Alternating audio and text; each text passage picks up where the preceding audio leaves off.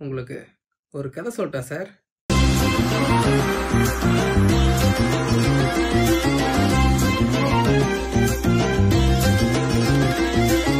அமெரிக்கால இருக்கிற ஜெரிகோங்கிற ஒரு சின்ன நகரத்துல ஒரு மான்ஸ்டர்ஸ் தொடர்ந்து கொலைகள் பண்ணிக்கிட்டே இருக்கு. இந்த மாதிரியான சமயத்துல தான் அந்த ஊர்ல இருக்கிற நெவர்மோர் அகாடமிங்கிற ஒரு போர்டிங் ஸ்கூல்ல வெட்னஸ்டே ஆடம்ஸ்ங்கிற ஒரு பொண்ணு வந்து சேர்றா. அவ கண்ணு முன்னாடியே அந்த மான்ஸ்டர் ஒரு கொலையை பண்ண அந்த மான்ஸ்டர் யாரு எதுக்காக இந்த கொலை அது பண்ணுதுங்கிறத கண்டுபிடிக்க வெட்னஸ்டே களத்துல இறங்குறா. அவ அந்த மான்ஸ்டர் யாருங்கிறத கண்டுபிடிச்சாலா அந்த மான்ஸ்டர் எதுக்காக இந்த கொலைகள் எல்லாம் பண்ணிக்கிட்டு இருக்கு? அப்படிங்கறத சொல்லக்கூடிய ஒரு ஃபேண்டசி ஹாரர் சீரிஸ் தான் வெட்னஸ்டே அப்படியே சேனலையும் சப்ஸ்கிரைப் பண்ணிவிட்டு அந்த லைக் பட்டனையும் தட்டி விட்டுட்டிங்கன்னா இன்னும் நல்லாயிருக்கும். வெட்னஸ்டே ஆடம்ஸ் என்னடா புதன்கிழமெல்லாம் பேர் வச்சிருக்காங்க? அப்படின்னு தானே கேக்குறீங்க? புதன்கிழமையில பிறந்தவங்க எல்லாம் சோகமாவே இருப்பாங்கன்னு அவங்க அம்மாவுக்கு ரொம்ப பிடிச்ச பாடல்ல ஒரு வரி வருமா? அதனால வெள்ளிக்கிழமை பிறந்தவளுக்கு புதன்கிழமைன்னு பேர் வச்சிருக்காங்க. அம்மினி எப்ப பார்த்தாலும் முகத்துல எந்த ஒரு உணர்ச்சியுமே காட்டாம உருனே இருப்பாங்க. இதனாலேயே பதினாறு வயசு ஆகிறவளுக்கு ஒரு தோஸ்து கூட கிடையாது. எப்ப பார்த்தாலும் தனிமையிலே இருக்கிற ஒரு தனிமை விரும்பி. ஆனா தனக்கோ தன்னை சார்ந்தவங்களுக்கோ ஒரு பிரச்சனை வந்துச்சுன்னு வைங்களேன். சும்மா இறங்கி செஞ்சு விட்டுருவா. யாருக்காகவும் எதுக்காகவும் பயப்பட மாட்டா. இந்த கதை நடக்கிற உலகத்துல மனுஷங்க மட்டும் இல்லைங்க. வேரூல்ஸா மான்ஸ்டரா மாறக்கூடியவங்களும் சில விசேஷ மாயஜால சக்தி உள்ளவங்களும் சேர்ந்தே வாழ்றாங்க. இப்படிப்பட்ட சக்தி இருக்கிறவங்கள ஒரு காலத்துல மனுஷங்கள்லாம் சேர்ந்து தேடி தேடி கொண்டதால அவங்களெல்லாம் ஒடுக்கப்பட்டவங்கன்னு சொல்றாங்க. இவங்களால சாதாரண மனுஷங்க கூட சேர்ந்து சகஜமா வாழ முடியாததால அவங்களுக்காகவே ஜெரிகோல ஒரு போர்டிங் ஸ்கூல நடத்திட்டு இருக்காங்க. அதுதான் நெவர்மோர் அகாடமி இந்த ஸ்கூல்ல படிக்கிற எல்லாருமே வித்தியாசமானவங்க தான். இங்க தான் ஆடம்ஸ் குடும்பத்தை சேர்ந்த கோம்ஸ் ஆடம்ஸும் மோர்டிஷி ஆடம்ஸும் படிச்சாங்க. அவங்களோட பொண்ணு தாங்க இந்த வெனஸ்டே ஆடம்ஸ் வெனஸ்டேக்கு பக்ஸ்லிங்கிற ஒரு தம்பியும் இருக்கான். வெனஸ்டேவோட அப்பா அம்மாவுக்கு அவளை ரொம்ப பிடிக்கும். ஆனா அவளுக்கு அவங்கள சுத்தமா பிடிக்காது. எப்ப பார்த்தாலும் அவங்க ரெண்டு பேரும் கொஞ்சிக்கிட்டே இருக்காங்களா? அதனாலேயே அவ அவங்கள வெறுக்கிறா. வெனஸ்டேவோட அம்மாவுக்கு சைக்கிக் சக்தி இருக்குங்க. வெனஸ்டேவோட சக்திகள் எதுவும் வெளிப்படாததால அவளோட பதினாறு வயசு வரைக்கும் சாதாரண மனுஷங்க படிக்கிற ஸ்கூல்ல தான் படிச்சுக்கிட்டு இருக்கா. எப்பயுமே உருன்னு இருக்கிற அவளை எல்லாருமே வினோதமா பார்த்தாலும் அவளுக்கு அதை பத்திலாம் கவலையே இல்லையே. நான் கெத்தா தான் இருக்கிறேன்னு தனியாவே சுத்திட்டு இருக்கிறா. அப்போ ஒரு நாள் சில அராத்து பழுங்க வெட்னஸ்டேவோட தம்பி பக்ஸ்லிய கட்டி அவளோட லாக்கர்ல அடைச்சிட்டு போயிடுறானுங்க. அவ அவனோட கட் அவுத்தோட தொடும்போது அது யாரு பண்ணாங்கிறது அவளுக்கு ஒரு விஷயமா தெரியுது.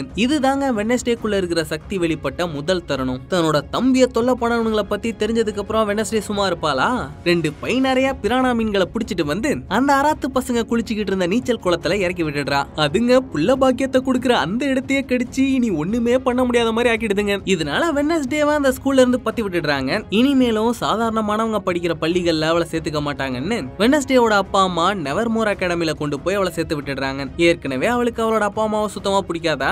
அவளோட அப்பா அம்மா மாதிரியே அவளும் ஆணும் ஆசைப்பட்டதால தான் தன்னை ஒடுக்கப்பட்டவங்களுக்கான ஸ்கூல்ல கொண்டு போய் சேர்த்து விடுறாங்கன்னு வெனஸ்டே நினைச்சுக்கிறா. ஏதாவது சேட்டப் பண்ணி எப்படி இந்த ஸ்கூல்ல இருந்து தப்பிக்கிறான் பாருங்க அப்படின்னு கங்கணம் கட்டிக்கிட்டே தாங்க ஸ்கூல்ல அடி எடுத்து வைக்கிறா. ஆனா இப்போ அந்த ஸ்கூலோட பிரின்சிபலா இருக்கிறது வெனஸ்டே அம்மாவோட தோழி லாரிசா வீம்ஸ் மோர்டிஷியா இங்க படிக்கும் போது ரெண்டு பேருமே ஒரே ரூம்ல இருந்தாங்களாம். அதனால வெனஸ்டேவை நான் பாத்துக்கிறேன்னு சொல்லி வெட்னஸ்டேக்காக ஒதுக்கப்பட்டிருக்க அறைக்கு வீம்ஸ் அவங்கள அழைச்சிட்டு வராங்க. ஏற்கனவே அந்த அறையில ஈனிட்னு ஒரு பொண்ணு இருக்காங்க. அவ ஒரு வேர் ஆனா இது வரைக்கும் அவ முழுசா வேர் உல்ஃபா மாறினதே இல்ல. வெட்னஸ்டேவை பார்த்ததுல அவளுக்கு அப்படி ஒரு ஆனந்தம். அந்த ஆனந்தத்துல வெட்னஸ்டேவை இறுக்கி அணைக்க போறா. ஆனா வெட்னஸ்டேக்கு தான் இந்த கட்டிப்பிடி வைத்தியெல்லாம் ஆகாதே. அதனால ஜஹா வாங்குறா. சரி வா நான் உனக்கு நவர்மோரை சுத்தி காட்டுறேன்னு ஈனிட் வெனஸ்டேவை அழைச்சிட்டு போறா. முதல்ல அங்க படிக்கிற ரத்த காட்டேரி பசங்களை காட்டுறா. அடுத்து வேர் உல்சா மாறுற பசங்களையும் அதுக்கப்புறம் சைரன்ஸையும் காட்டுறா. இந்த சைரன்கிறவங்க தங்களோட பேச்சாலேயே எதிரில் இருக்கிறவங்கள மைக்கி தங்களோட பேச்சை கேட்க வச்சிருவாங்கங்க. அவங்களுக்கு நடுவுல மொட்டை தலையோட ஒருத்தி இருக்காளே. அவ தான் பியாங்கா. நெவர் மோர்லே தலை சிறந்த மாணவினா அது அவ தான் அவ ஒருத்தனை திரும்பி பாக்குறாளே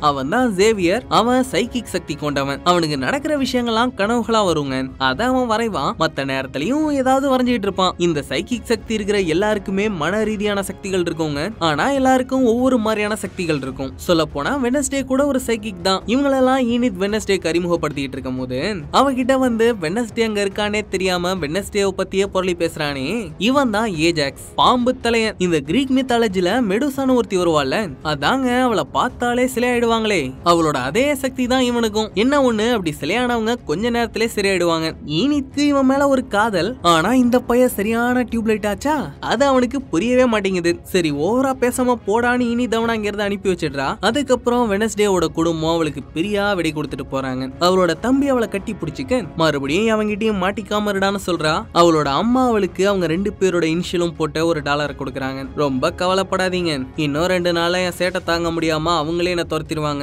அப்படின்னு சொல்லி அவங்கள அனுப்பி வைக்கிறா. வெனஸ்டேவோட அம்மா அழுதுகிட்டே கார்ல கிளம்ப போற போக்குல கோம்ஸ் கார்ல இருக்கிற ஒரு பட்டன் அமைக்கி ஒரு கையை அரைக்கி விட்டுட்டு போறாரு. இந்த பயலோட பேரு திங் வெனஸ்டேவை பாத்துக்க சொல்லி இவனை விட்டுட்டு போயிருக்காங்க. இவங்க வரும்போது காட்டு பக்கம் ஒருத்தன் கேம்போட வந்தாங்க. அவனை கூட்டிட்டு வந்த ஆயா ஒரு மான்ஸ்டர் இங்க பல பேரை கொண்டுட்டு இருக்குன்னு எவ்வளவோ சொன்னுச்சு. வளராத வந்து உட்கார்ந்தான். அந்த மான்ஸ்டர் வந்து அவனை கோதரி போட்டுட்டு போயிடுது. விஷயம் கேள்விப்பட்டு போலீஸ் அங்க வர அந்த பயலோட பாடிலாம் பாட் பாட்டா கிடக்கு. இதெல்லாம் எந்த மிருகம் பண்ணுது ஷெரீஃப்? அப்படின்னு டெபுட்டி சாண்டியாகோ கேக்குறாங்க. கண்டிப்பா ஒரு மிருகம் அதை பண்ணலன்னு ஷெரீஃப் சொல்றாரு. ஆனா ஒரு கரடி தான் இப்படி எல்லாம் பண்ணிட்டு இருக்குன்னு மேயர் பத்திரிகைக்காரங்க கிட்ட எல்லாம் சொல்லிட்டு இருக்காராம். அப்படி சொல்லலைன்னா அவங்களோட வாயடைக்க முடியாது. உண்மையிலேயே இதை யாரு பண்றதுன்னு கண்டுபிடிக்கிற வரைக்கும் யாரையும் காட்டுக்குள்ள விடாதீங்க. அப்படின்னு ஷெரீஃப் சொல்றாரு. அன்னைக்கு ராத்திரி ஈனிட் அறைக்கு வந்து பாக்குறா. வெட்னஸ்டே அந்த அறையவே பாதியா பிரிச்சு வச்சிருக்கா இவளுக்கு கலர்ஸ்னாலே சுத்தமா ஆகாதுங்க. பிளாக் அண்ட் ஒயிட் மட்டும்தான் பிடிக்கும். தினமும் ஒரு மணி நேரம் நாவல் கூட எழுதுவா. இவ ஈனிட சுத்தமா மதிக்க மாட்டாளா இதனால முதல் நாளே ரெண்டு பேருக்குள்ள நீயா நானா போட்டி ஆரம்பிக்க போற நேரத்துல தான்ஹல்ங்கிற டீச்சர் அங்க வரா. இந்த ஹாஸ்டல்ல இருக்கிற பொண்ணுங்களுக்குலாம் இவ தான் பொறுப்பான். அதான் எல்லாம் செட் ஆயிருக்கான்னு பார்க்க வந்திருக்கா. எல்லாம் பரவாயில்லன்னு ரெண்டு பேரும் சொல்ல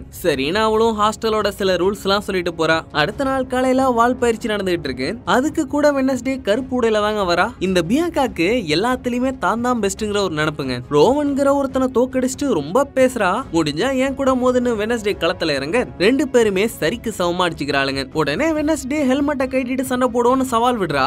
முதல்ல யாரோட ரத்தம் சிந்ததோ அவங்க தோத்ததா அர்த்தமா? என்னதான் இருந்தாலும் வெனஸ்டே பியாங்காவை கொஞ்சம் குறைச்சி மதிப்பிட்டுட்டா. அவ இவன் மூஞ்சிலே கோட்டை போட்டு விட்டுட்டா. அதனால ஸ்கூல்ல இருக்கிற ஹாஸ்பிட்டலுக்கு வந்து கட்டு போட்டுட்டு இருக்கேன். ரோவன் தன்னை அவகிட்ட அறிமுகப்படுத்திக்கிறான். இவன் கொஞ்சம் அரக்கு இருக்க மாதிரி இருக்கிறதால எல்லாரும் இவனை வச்சு செய்யறாங்களாம் இப்போ அவனுக்கே போட்டியா வெனஸ்டே வந்துட்டான்னு ரொம்ப குதூகலப்படுறான். இவனா எதா இருந்தாலும் திருப்பி கொடுத்துருவோம்னு சொல்லிட்டு வெளியே போக தனி கேன்ல இருந்து சத்தம் கேக்குது. அவ அதை கவனிச்சுட்டு போறா. அட நம்ம திங்கு தாங்க வேவு பார்த்துட்டு இருக்கான். பைபிள்ல வேவு பாக்குற லட்சணம் அப்படி. வெனஸ்டே வெளியில வரும்போது மழை பெய்ய ஆரம்பிக்குது. அப்ப திடீர்னு மாடியில இருந்த பெரிய செலவு மேல விழ போகுது அவ என்னன்னா நகராம அதை பாத்துக்கிட்டே நிக்கிறா. நல்ல வேலை ஜேவியர் அவளை காப்பாத்திடுறான். அவ பயத்திலே மயங்கிடுறா. அதுக்கப்புறம் ஸ்கூல் ஹாஸ்பிட்டல்ல கண் முழிச்சவ காப்பாத்துறவனுக்கு நன்றி சொல்லாம ஏடா என்ன காப்பாத்துன? விட்டா நிம்மதியா போய் சேர்ந்திருப்பான்ல? அப்படிங்கிறா. சின்ன வயசுல இவ சேவியருக்கு ஒரு உதவி செஞ்சிருக்காங்க. அந்த உதவிக்கான கைமாறுதான் இதுன்னு சொல்றான். இவனும் ஒரு பணக்கார குடும்பத்தை சேர்ந்தவன் தான். அவனுக்கு பத்து வயசு இருக்கும் போது அவனோட பாட்டி இறந்து போயிட்டாங்களாம். சாவு வீட்டுக்கு வந்த குழந்தைங்களோட கண்ணாம்பூச்சி ஆடினவன் சவப்பெட்டிக்குள்ள போய் ஒளிஞ்சிக்க அது தெரியாம அந்த பெட்டியை எரிக்க எடுத்துட்டு போயிட்டாங்களாம். நல்ல வேலை இந்த பய அலர்ன சத்தம் வெனஸ்டேக்கு கேட்டிருக்கு. அவ அவனை காப்பாத்திருக்கா. அடா அன்னைக்கு உன் பாட்டி உயிரோட வந்துட்டாங்கன்னு நினைச்சுதான் நான் திறந்தேன். அப்படிங்கிறா.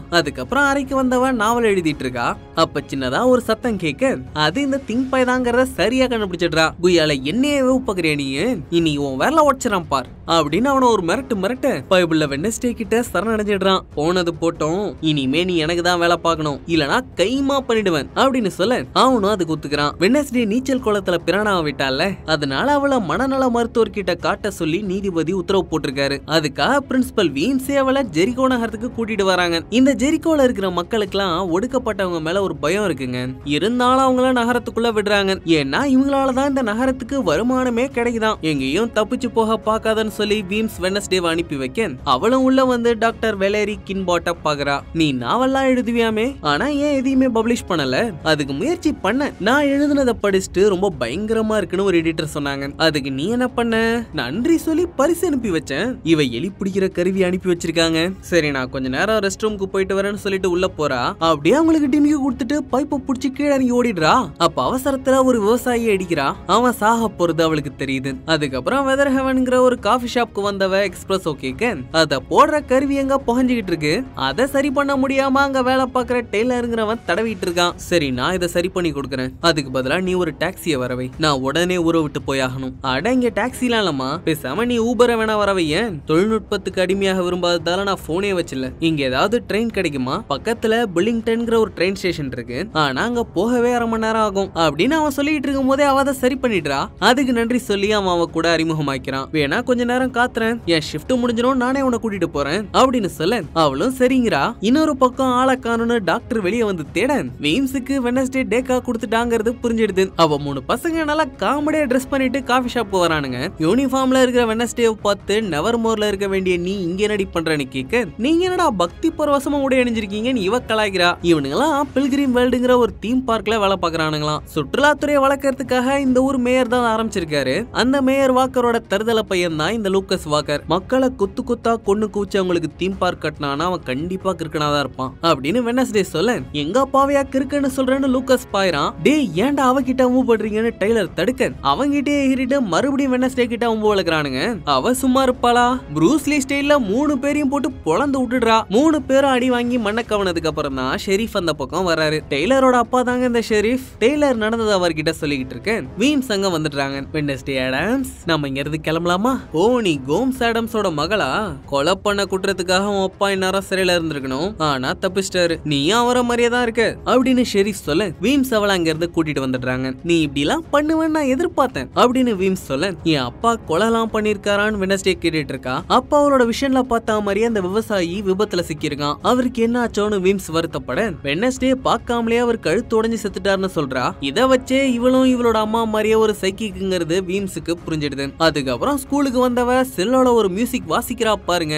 இத உண்மையிலேயே வாசிச்சவனுங்க ஏர்ல பறந்துட்டே வாசிச்சானுங்களாங்கிற அளவுக்கு அந்த இசை இருக்கு. அந்த மியூசிக்கான லிங்க கொடுக்குறேன் போய் கேளுங்க. வெனஸ்டே வாசிக்கிற இசையை கேட்ட எல்லாரும் அப்படியே ஆச்சரியப்பட்டு போறாங்க. அந்த நேரத்துல ஒரு லைப்ரரிக்கு வந்த ரோவன் கையை நீட்டுறான். அவனோட கைக்கு ஒரு புத்தகம் பறந்து வருது. ஆனா இவனுக்கு டெலிகைனசி சக்தி இருக்குங்க.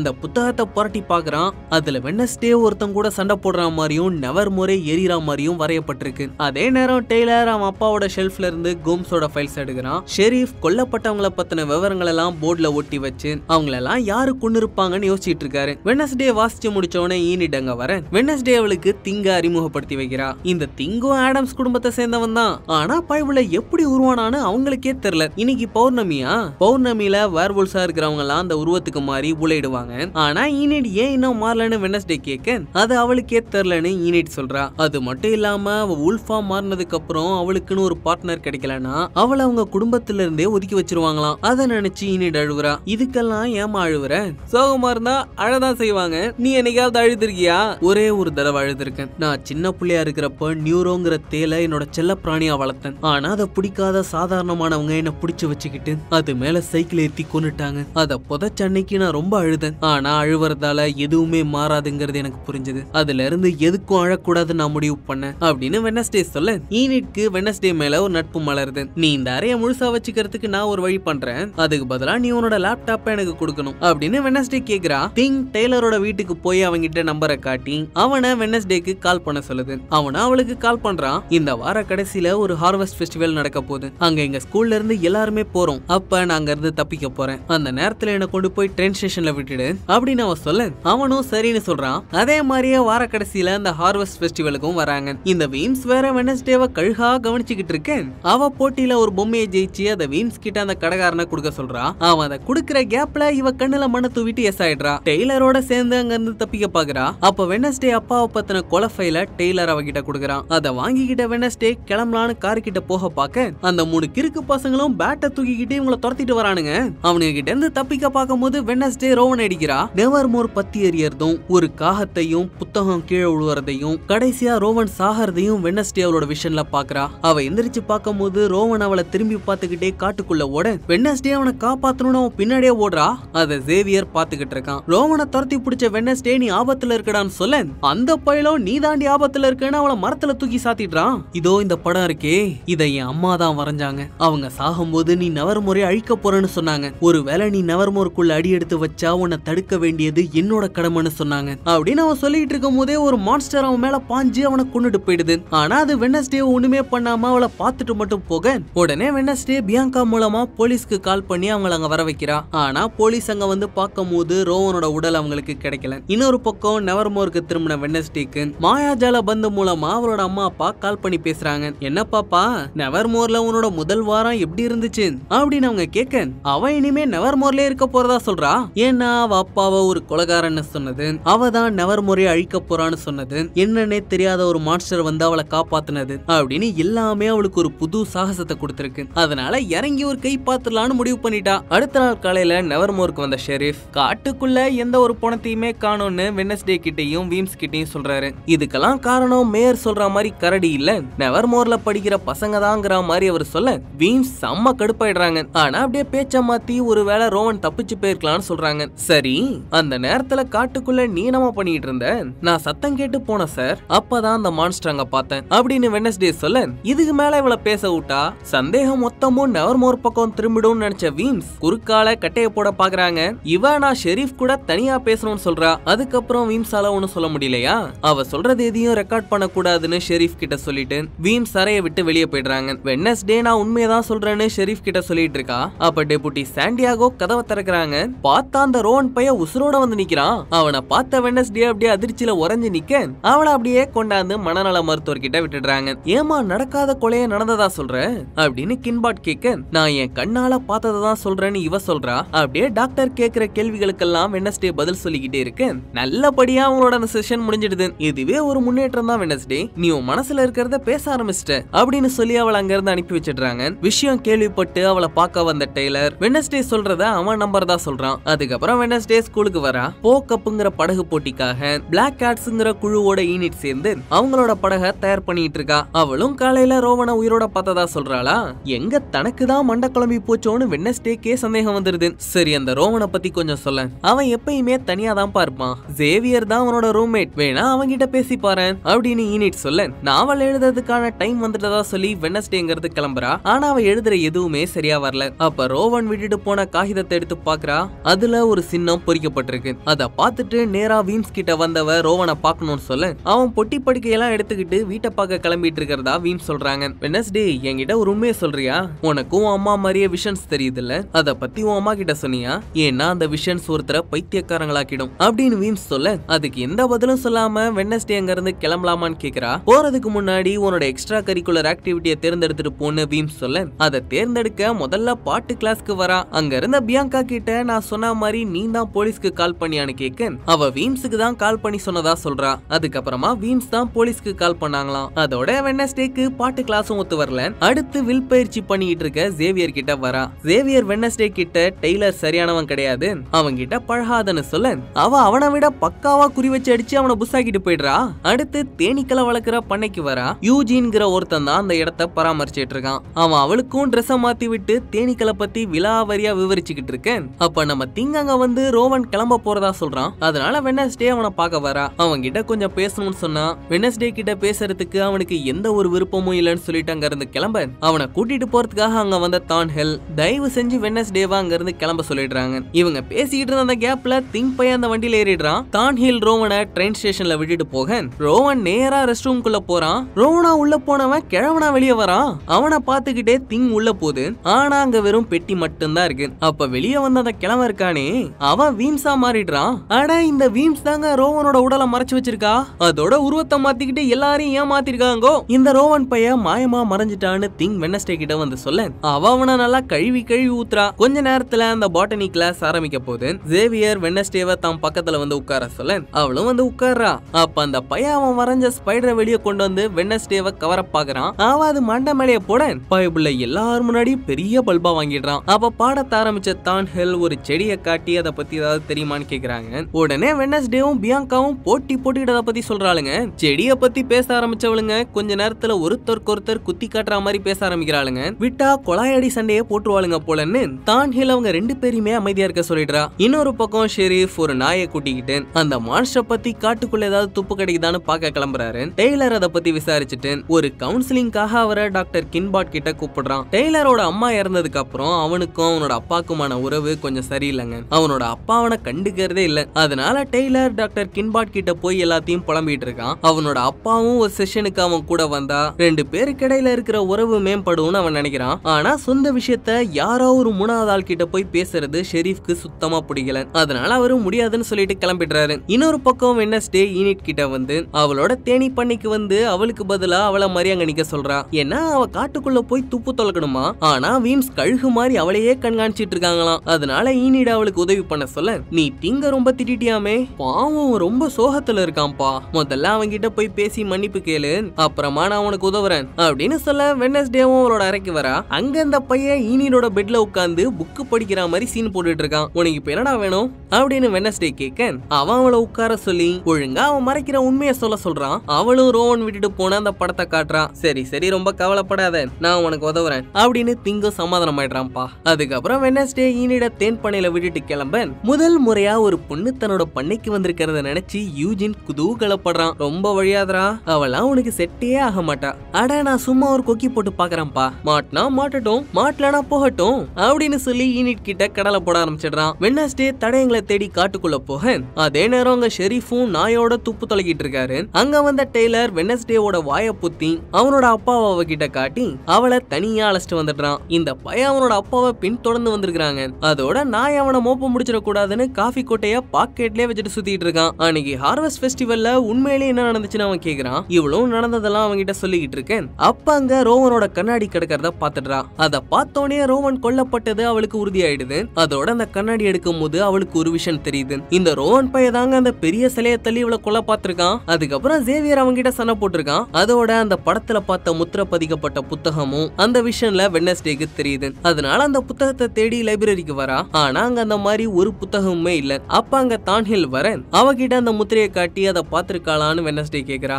அது நைட் ஷேடுங்கிற ஒரு ரகசிய குழுவோட சின்னமா ஆனா அந்த குழு ரொம்ப வருஷத்துக்கு முன்னாடியே பிரிஞ்சிட்டதா அவ சொல்றா. தான்ஹில் ஒரு ஒடுக்கப்பட்டவ இல்லைங்க சாதாரணமானவ தான். ஆனா அவளோட அறிவு சாதாரணமானவங்களை விட கொஞ்சம் வித்தியாசமா இருக்கு. ஆனா ஒடுக்கப்பட்டவங்க அளவுக்கு அதிகமா இல்ல. அதனால சாதாரணமானவங்க அவளை ஏத்துக்காததால ஒன்றரை வருஷத்துக்கு முன்னாடி அவ நவர்மோர் அகாடமில வந்து சேர்ந்திருக்கா. அடுத்து வெனஸ்டே திங்க கூட்டிக்கிட்டு அந்த புத்தகத்தை தேடி ஜேவியரோட அறைக்கு வரா. ரோவன் ஜேவியரோட தானே தங்கியிருந்தான்? அதனால புத்தகம் அங்கதான் இருக்கும்னு நினைச்சுக்கிட்டாங்க வரா ஆனா அங்க அவளுக்கு ஒரு மாஸ்க் மட்டும் தான் கிடைக்குது. அத பாத்துக்கிட்டு இருக்கும்போது யாரோ கதவை தட்டுற சத்தம் கேக்குது. உடனே வெனஸ்டே கட்டிலுக்கு அடியில ஒளிஞ்சிக்க பாத்ரூம்ல இருந்து வெளியே வந்த ஜேவியர் கதவை திறக்கிறான். வந்திருக்கிறது பியாங்கா. இந்த பியாங்கா அவளோட சக்தியை ஜேவியர் மேல பயன்படுத்திருக்காங்க அதனாலதான் ஜேவியர் அவளை பிரிஞ்சுட்டான். பியாங்காக்கு ஜேவியர் வெனஸ்டே கூட பழகிறது சுத்தமா பிடிக்கல. ஏன்னா அவ வெனஸ்டேவா அவளுக்கு ஒரு போட்டியா நினைக்கிறா. அதனால வெனஸ்டேவோட ரூம்மேட் ஈனிட படகு போட்டியில தோக்கடிச்சு வெனஸ்டேவோட முகத்துல கரிய பூசணும்னு நினைக்கிறா. அதுக்கான எல்லா ஏற்பாட்டையும் ஏற்கனவே பண்ணிட்டாலாம் அதோட ஜேவியருக்கு வெனஸ்டே ஒத்தே வரமாட்டான்னு சொல்லிட்டு போறா. இந்த நிமிஷம் வரைக்கும் வெனஸ்டேக்கு படகு போட்டியை பத்தி எந்த ஒரு கவலையுமே இல்ல. ஆனா அவளுக்கு சவால் விடுற மாதிரி பியாங்கா பேசிட்டு போயிட்டாளா? அதனால வெனஸ்டேக்கு இப்ப பியாங்காவை தோக்கடிக்கணும்னு தோணுது. வெனஸ்டே அவளோட அறைக்கு வர அங்க ஈனிட் ஒப்பாரி வச்சிட்டு இருக்கா அவளோட பிளாக் கேட்ஸ் டீம்ல அவ கூட சேர்ந்து படகு ஓட்டுறவளுக்கு ஒரே வாந்தி பேதியா அதான் போட்டியில எப்படி ஜெயிக்கிறதுன்னு தெரியாம கதறிக்கிட்டு இருக்கா. அதை கேட்டோனே அது பியாங்காவோட வேலைதாங்கிறது வெனஸ்டேக்கு புரிஞ்சிடுதுங்க. அதனால அவ பிளாக் கேட்ஸ் டீம்ல சேர்ந்து பியாங்காவை தோக்கடிக்க உதவுறதா சொல்றா. இந்த போக்கப் போட்டியில எந்த ஒரு விதிமுறையுமே இல்லையாங்க. அதனால பியாங்கா ஜெயிக்கிறதுக்காக என்ன வேணாலும் பண்ணுவான்னு ஈனித் சொல்ல அப்ப நாமளும் அதே வழியில போய் அவளை தோக்கடிப்போம்னு வெனஸ்டே சொல்றா. அடுத்த நாள் வெனஸ்டேவும் இனிதும் போட்டிக்கு தயாராகிறாங்க. நேத்து ராத்திரியே வெனஸ்டே திங்க வச்சு ஒரு திட்டத்தை போட்டு வச்சிட்டாலாம் ரெண்டும் பூனைக்குட்டிங்க மாதிரி வேஷத்தை போட்டுட்டு களத்துல இறங்க அவங்கள மாதிரியே மத்த டீமும் வேஷம் போட்டுட்டு வந்திருக்காங்க. ஜேவியர் தலைமையில இருக்கிற படகுல எல்லாரும் ஜோக்கர் வேஷம் போட்டிருக்காங்க. அதுல உட்கார்ந்துருக்க ஏஜாக்ஸ பார்த்து ஈனிட் வழிஞ்சுக்கிட்டு இருக்கா. ஏமா நீ ஜொல்லு ஊத்துனது போதும் கொஞ்சம் ஆட்டத்துல கவனத்தை செலுத்துறியா?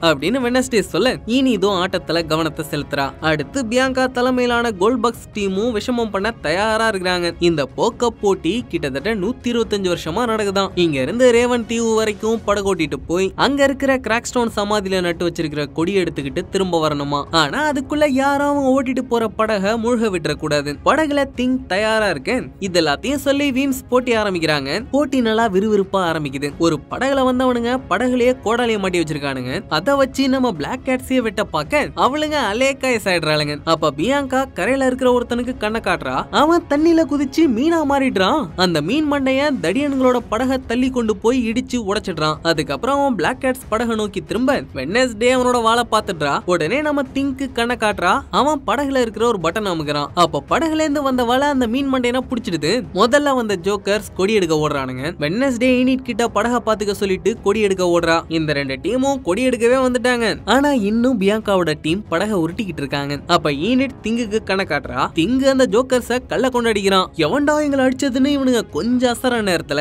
ஈனிட் அவனுங்களோட படகை கிரி விட்டுடுறா. அதே நேரம் கிராக்ஸ்டோன் சமாதி கிட்ட இருந்த கொடிய வெனஸ்டே எடுக்கிறா. அதை எடுக்கும் போது அப்படியே துடிச்சு போய் விழுந்துடுறா. கண்ணு முழிச்சு பார்த்தா அவ வேற ஒரு பரிமாணத்துல இருக்கா. அவ முன்னாடி அவள மாதிரியே ஒருத்தி நின்னுட்டு இருக்கா நீ தான் சாவின்னு அவ சொல்ல நிஜத்துல பியாங்கா அவளை தட்டி எழுப்பி விட்டுட்டு போறான். என்ன நடந்துச்சுனே புரியாம வெனஸ்டே கொடியை தூக்கிட்டு வர பிளாக் கேட்ஸ் அவங்களோட படகை கிளப்புறாங்க ஆனா யூனிட் பண்ண வேலையால ஜோக்கர்ஸோட கப்பல் நடுவுலயே முழுகிடுது. பிளாக் கேட்ஸ் டீமும் கோல்ட் பக்ஸ் டீமும் போட்டி போட்டுட்டு வந்துட்டு இருக்காங்க. அந்த மீன் மண்டையா மறுபடியும் வந்து பிளாக் கேட்ஸோட படகை கவுத்து விட பாக்குறான். அப்ப தண்ணியில குதிச்ச திங் ஒரே குத்தா விட்டு அவன மட்டையா கேட்டுறான் கோல்ட் பக்ஸ் படகு கிட்ட வந்தோடனே வெனஸ்டே ஒரு பட்டன் நமக்கு அவங்களோட படகுல இருந்து ஈட்டி மாதிரி ஒண்ணு வெளியே வருது. அதை வச்சு கோல்பக்ஸோட படகுல ஓட்டைய போட்டுட்டு பிளாக் கேட்ஸ் கொடியோட கரைக்கு வந்து சேர்ந்துடுறாங்க. இதனால போக்க போட்டியில பிளாக் கேட்ஸ் ஜெயிச்சிடுறாங்கப்பா. போட்டியில ஜெயிச்ச சந்தோஷத்துல ஈனிட் வானத்துக்கும் பூமிக்கும் குதிக்கிறா. பியாங்காவை தோக்கடிச்சதை நினைச்சு வெனஸ்டே ரொம்ப ஆனந்தப்படுறா. அதுக்கப்புறம் பிரின்சிபல் வீன்ஸ் போக்கப்ப பிளாக் கேட்ஸ்க்கு கொடுக்குறாங்க. அந்த கொண்டாட்டத்திலையும் கலந்துக்க விரும்பாத வெனஸ்டே ஒரு சிலை கிட்ட வந்து அதுக்கு கீழே உட்காந்துக்கிறா. அந்த சிலை கையில வச்சிருக்கிற புத்தகத்துல வெனஸ்டே தேடிட்டு இருக்கிற முத்திரை பதிக்கப்பட்டிருக்கு. அதை வெனஸ்டே பாத்துக்கிட்டு இருக்கேன். ஏன்டி இப்படி எப்ப பார்த்தாலும் தனியாவே உட்கார்ந்துருக்கேன்னு யூனிட் வந்து அவளை கூட்டிட்டு வரா. அப்ப வீன்ஸ் வெனஸ்டே கிட்ட அவளோட அம்மாவை பத்தி சொல்றாங்க. இந்த ஸ்கூல்ல பசங்களை சில குரூப்ஸா பிரிச்சு வச்சிருக்காங்க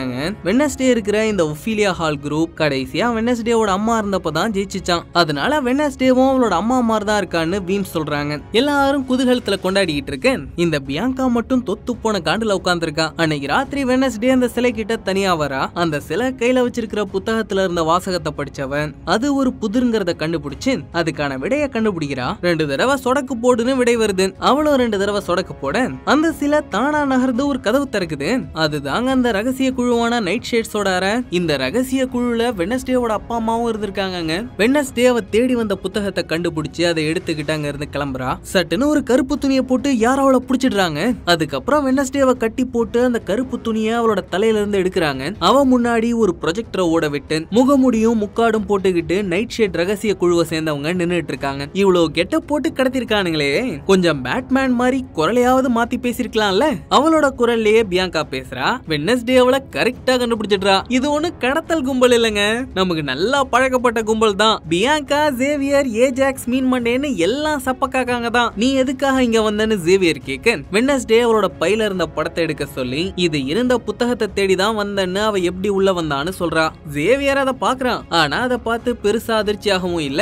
அதுல என்ன இருக்குன்னு யாருகிட்டயும் சொல்ல மாட்டான் இது எவ்வளவு பெரிய ரகசிய கூட்டமைப்புன்னு தெரியுமா? யாருகிட்ட கதை விடுறீங்க? நைட் ஷேட்ஸ் எல்லாம் பிரிஞ்சுட்டதா சொன்னாங்க? அப்படின்னு வெனஸ்டே கேட்க முப்பது வருஷத்துக்கு முன்னாடி ஒரு சாதாரணமானவன் கொல்லப்பட்டதால இதை கலைச்சிட்டாங்கன்னு ஜேவியர் சொல்றான். அட வெனஸ்டேவோட அப்பா பண்ண சம்பவத்தை பத்தி சொல்றான்யா இப்ப அவங்களோட வாரிசுங்கெல்லாம் மறுபடியும் இந்த கூட்டமைப்பு ஆரம்பிச்சிருக்காங்களாம். செத்து போன ரோவனும் இதுல இருந்திருக்கான். வெனஸ்டேவோட அப்பா அம்மாவும் இந்த கூட்டமைப்புல இருந்ததால அவளையும் நைட் ஷேட்ல சேர்த்துக்கலாம்னு ஜேவியர் சொல்ல எனக்கு இந்த டுபாகூர் கூட்டத்துல எல்லாம் சேர விருப்பம் இல்ல. அப்படின்னு சொல்லி வெனஸ்டேவே அவளோட கட்ட அவுத்துக்கிட்டு கிளம்பிடுறா. உங்களால கடத்தலுக்கே அசிங்கம்டா. அப்படின்னு போற போக்குல கலாய்ச்சி விட்டுட்டு போயிடுறாப்பா. அதுக்கப்புறம் அறைக்கு வந்தவ அந்த படத்தை புத்தகத்துல ஒட்ட வச்சு பாக்குறா. ரோவன்சோன் அழிவப்போ அவ கூட ஒரு பில்கிரிமும் இருக்கிறது அவளுக்கு தெரிய வருது. இந்த பில்கிரிம்ஸ்ங்கிறவங்க மதத்தை பரப்புறதுக்காக அமெரிக்காக்கு வந்தவங்க அவங்க முதல் முதலா வந்து கொட்டாய போட்ட இடத்துல தான் இப்ப பில்கிரிம் வேர்ல்ட் அம்யூஸ்மெண்ட் பார்க் இருக்கு. இத பத்தி எப்படியாவது தெரிஞ்சுக்கிட்டே ஆகணும்னு வெனஸ்டே நினைச்சுக்கிட்டு இருக்கும் போதுதான் நெவர்மோர்ல அவுட் ரீச் டேன்னு ஒன்று வருது. அந்த நாள்ல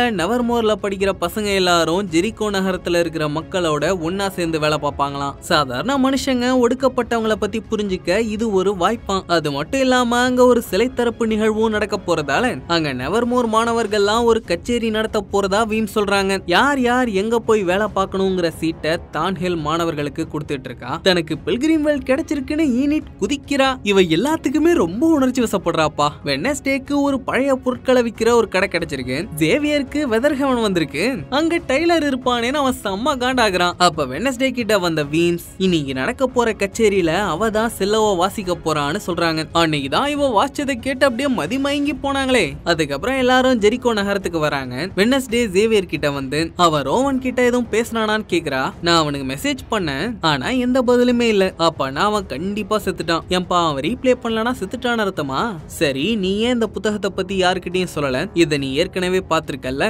ஆமா இது ரோவனோட மேஜ மேல இருந்து இருந்துச்சு அவன் இந்த திருநதால அவனை நைட் ஷேட்ல இருந்தே வெளியே அனுப்பிட்டோமா? அதை ஏன்டா எடுத்தன்னு நான் கேட்டப்போ ஒரு பஞ்சாயத்தே ஆயிடுச்சு. அவன் உன்னை செவுத்திலே தூக்கி அடிச்சிட்டான்ல. ஆமா அது எப்படி உனக்கு தெரியும்? சும்மா போட்டு வாங்கினேன். இந்த புத்தகம் முப்பது வருஷத்துக்கு முன்னாடி எழுதப்பட்டதுப்பா. அதுல ஜோசப் கிராக்ஸ்டோனோட நீ எப்படி இருக்க? அப்படின்னு ஜேவியர் கேட்க இப்பதான் அந்த படத்துல இருக்கிறது கிராக்ஸ்டோன்ங்கிறதே வெனஸ்டேக்கு தெரியுது. அட அவனோட சமாதியில தாங்க அந்த கொடியை நட்டு வச்சிருந்தானுங்க. அந்த கிராக்ஸ்டோன் தான் ஜெரிகோ நகரத்தையே உருவாக்குனதான். அவனோட சிலையை தான் இன்னைக்கு மேம்படுத்தி திறக்க போறாங்க. அவனை பத்தின எல்லா விவரமும் பில்கிரிம் வேர்ல்ட்ல இருக்குன்னு ஜேவியர் சொல்லிக்கிட்டு இருக்கான். அதே நேரம் மேயர் அவரோட மகனை ஷெரீஃப் கிட்ட அறிமுகப்படுத்துறாரு. தம்பியே நல்லா தெரியுமே அப்படின்னு ஷெரீஃப் அவனை நக்கல் பண்ண. லூக்கஸ் நைஸா அங்க இருந்து நழுவிடுறான். அப்ப ஷெரீஃப் மேயர் கிட்ட நெவர்மோருக்கும் தொடர் கொலை சம்பவங்களுக்கும் ஏதோ சம்பந்தம் இருக்குன்னு சொல்றாரு. நெவர்மோர் இல்லனா ஜெரிகோவுக்கு வருமானமே இல்லைன்னு மேயர் சொல்றாரு. இந்த மேயரும் இதுக்கு முன்னாடி ஷெரீஃபா இருந்திருக்காருங்க. அதனால சும்மா நெவர்மோரை குத்தம் சொல்லிக்கிட்டு இருக்காம அந்த கரடியை கண்டுபிடிச்சு அதோட கதையை முடிக்க சொல்றாரு. அப்படியே நெவர்மோர் மாணவர்களுக்கு முன்னாடி உரையாற்றி முடிக்க வீம்ஸ் மாணவர்கள் எல்லாரையும் அவங்களுக்கு ஒதுக்கப்பட்ட வேலைகளுக்கு போக சொல்லிட்டு மதியான சாப்பாட்டுக்கு திரும்ப வர சொல்றாங்க. வெட்னஸ்டே யூனிட் கிட்ட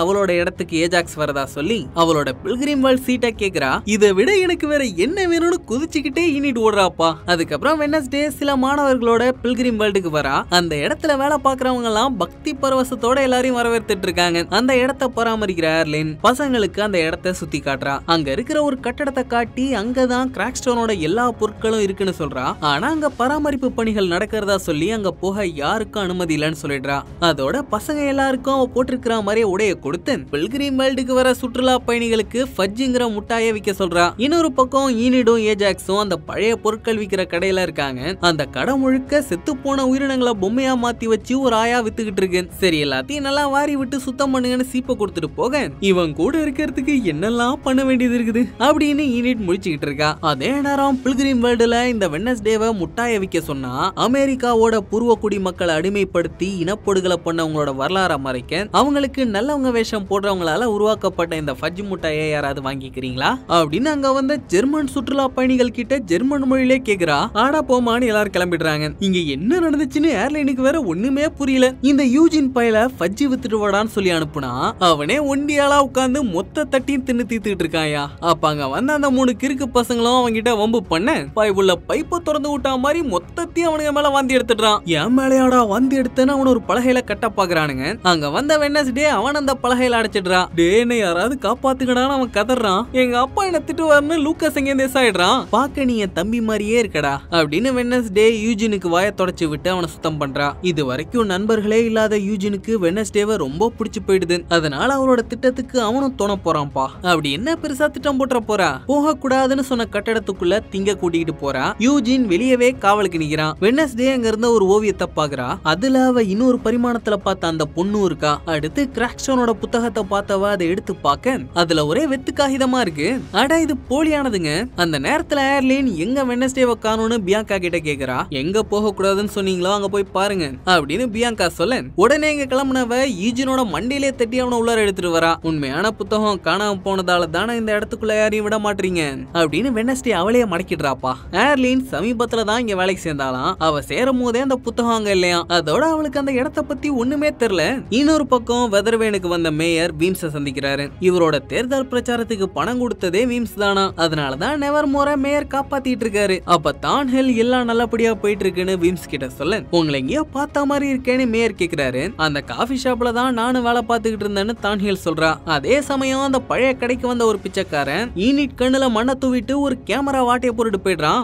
அப்போ ஒரு அணிலும் எலியும் கல்யாணம் பண்ணிக்கிற மாதிரி இருந்த பொம்மைய பாத்துக்கிட்டு இருந்த ஏஜாக்ஸ் ரெண்டு இனத்தை சேர்ந்ததுங்க எப்படி ஒண்ணு சேர முடியும்னு கேட்க அதுதான்டா காதல்னு ஈனிட் தன்னோட காதலை மறைமுகமா சொல்றா. அப்பையும் அந்த மரமண்டைக்கு புரியல. அதனால வெக்கத்தை விட்டு காலையில இருந்து நான் உன்னை பாத்துக்கிட்டு இருக்கிறது உனக்கு புரியலையாடான்னு கேட்டுடுறாங்க. அப்பதான் அந்த பயலுக்கு புரியுது. உடனே நாம இன்னைக்கு ராத்திரி தனியா சந்திக்கலாமா நம்ம கேட்க அப்பாடா ஒரு வழியா டியூப்லைட் எரிஞ்சிருச்சு. அப்படின்னு ஈனிட் ரொம்ப சந்தோஷப்படுறா. இன்னொரு பக்கம் வெனஸ்டே வெதர்வீன்ல இருக்கிற டெய்லரை பார்க்க வரா. அங்கதான் சேவியர் வேண்டா வெறுப்பா வேலை காப்பாத்திட்டு இருக்கான் வெனஸ்டே டெய்லர் கிட்ட பில்கிரிம்ஸ் முதல் முதலா இருந்த இடத்த பத்தி கேட்க அவனும் அவன் எடுத்துட்டு வந்த மேப்ல அந்த இடத்த காட்டுறான். உடனே வெனஸ்டே இங்க கிளம்புறா. நீ ஏன் தனியா போற? நான் வேணா என் ஷிஃப்ட் முடிஞ்சவனா உன்னை அங்க கூட்டிட்டு போட்டா? அப்படின்னு டெய்லர் கேட்க நான் சில தரப்பு விழாக்கு திரும்ப வந்தாகணும்னு சொல்லிட்டு வெனஸ்டே திங்கோட அந்த இடத்துக்கு போறா. அங்க தங்கி இருந்த பிச்சைக்காரன் இது என்னோட இடம்னு சொல்லி வெனஸ்டே அங்க இருந்து கிளம்ப சொல்ல திங் இவனை கொஞ்சம் கவனி. அப்படின்னு வெனஸ்டே சொல்றா. திங் அவன் தாடிய புடிச்சே அவனை வெளியே தள்ளிடுறான். வெனஸ்டே அந்த இடத்த நல்லா சுத்தி முத்தி தொட்டு பாக்குறா ஆனா அவளுக்கு எந்த விஷயமே வரல. அத பார்த்துட்டு திங் பேசாம நீ உன் அம்மா கிட்ட உதவி கேளன்னு சொல்ல. அதுக்கு நான் தும்பப்பூல தூக்கு மாட்டி செத்துருவேன். அப்படின்னு சொல்லிட்டு வெளியே போக கதவை திறக்கிறா.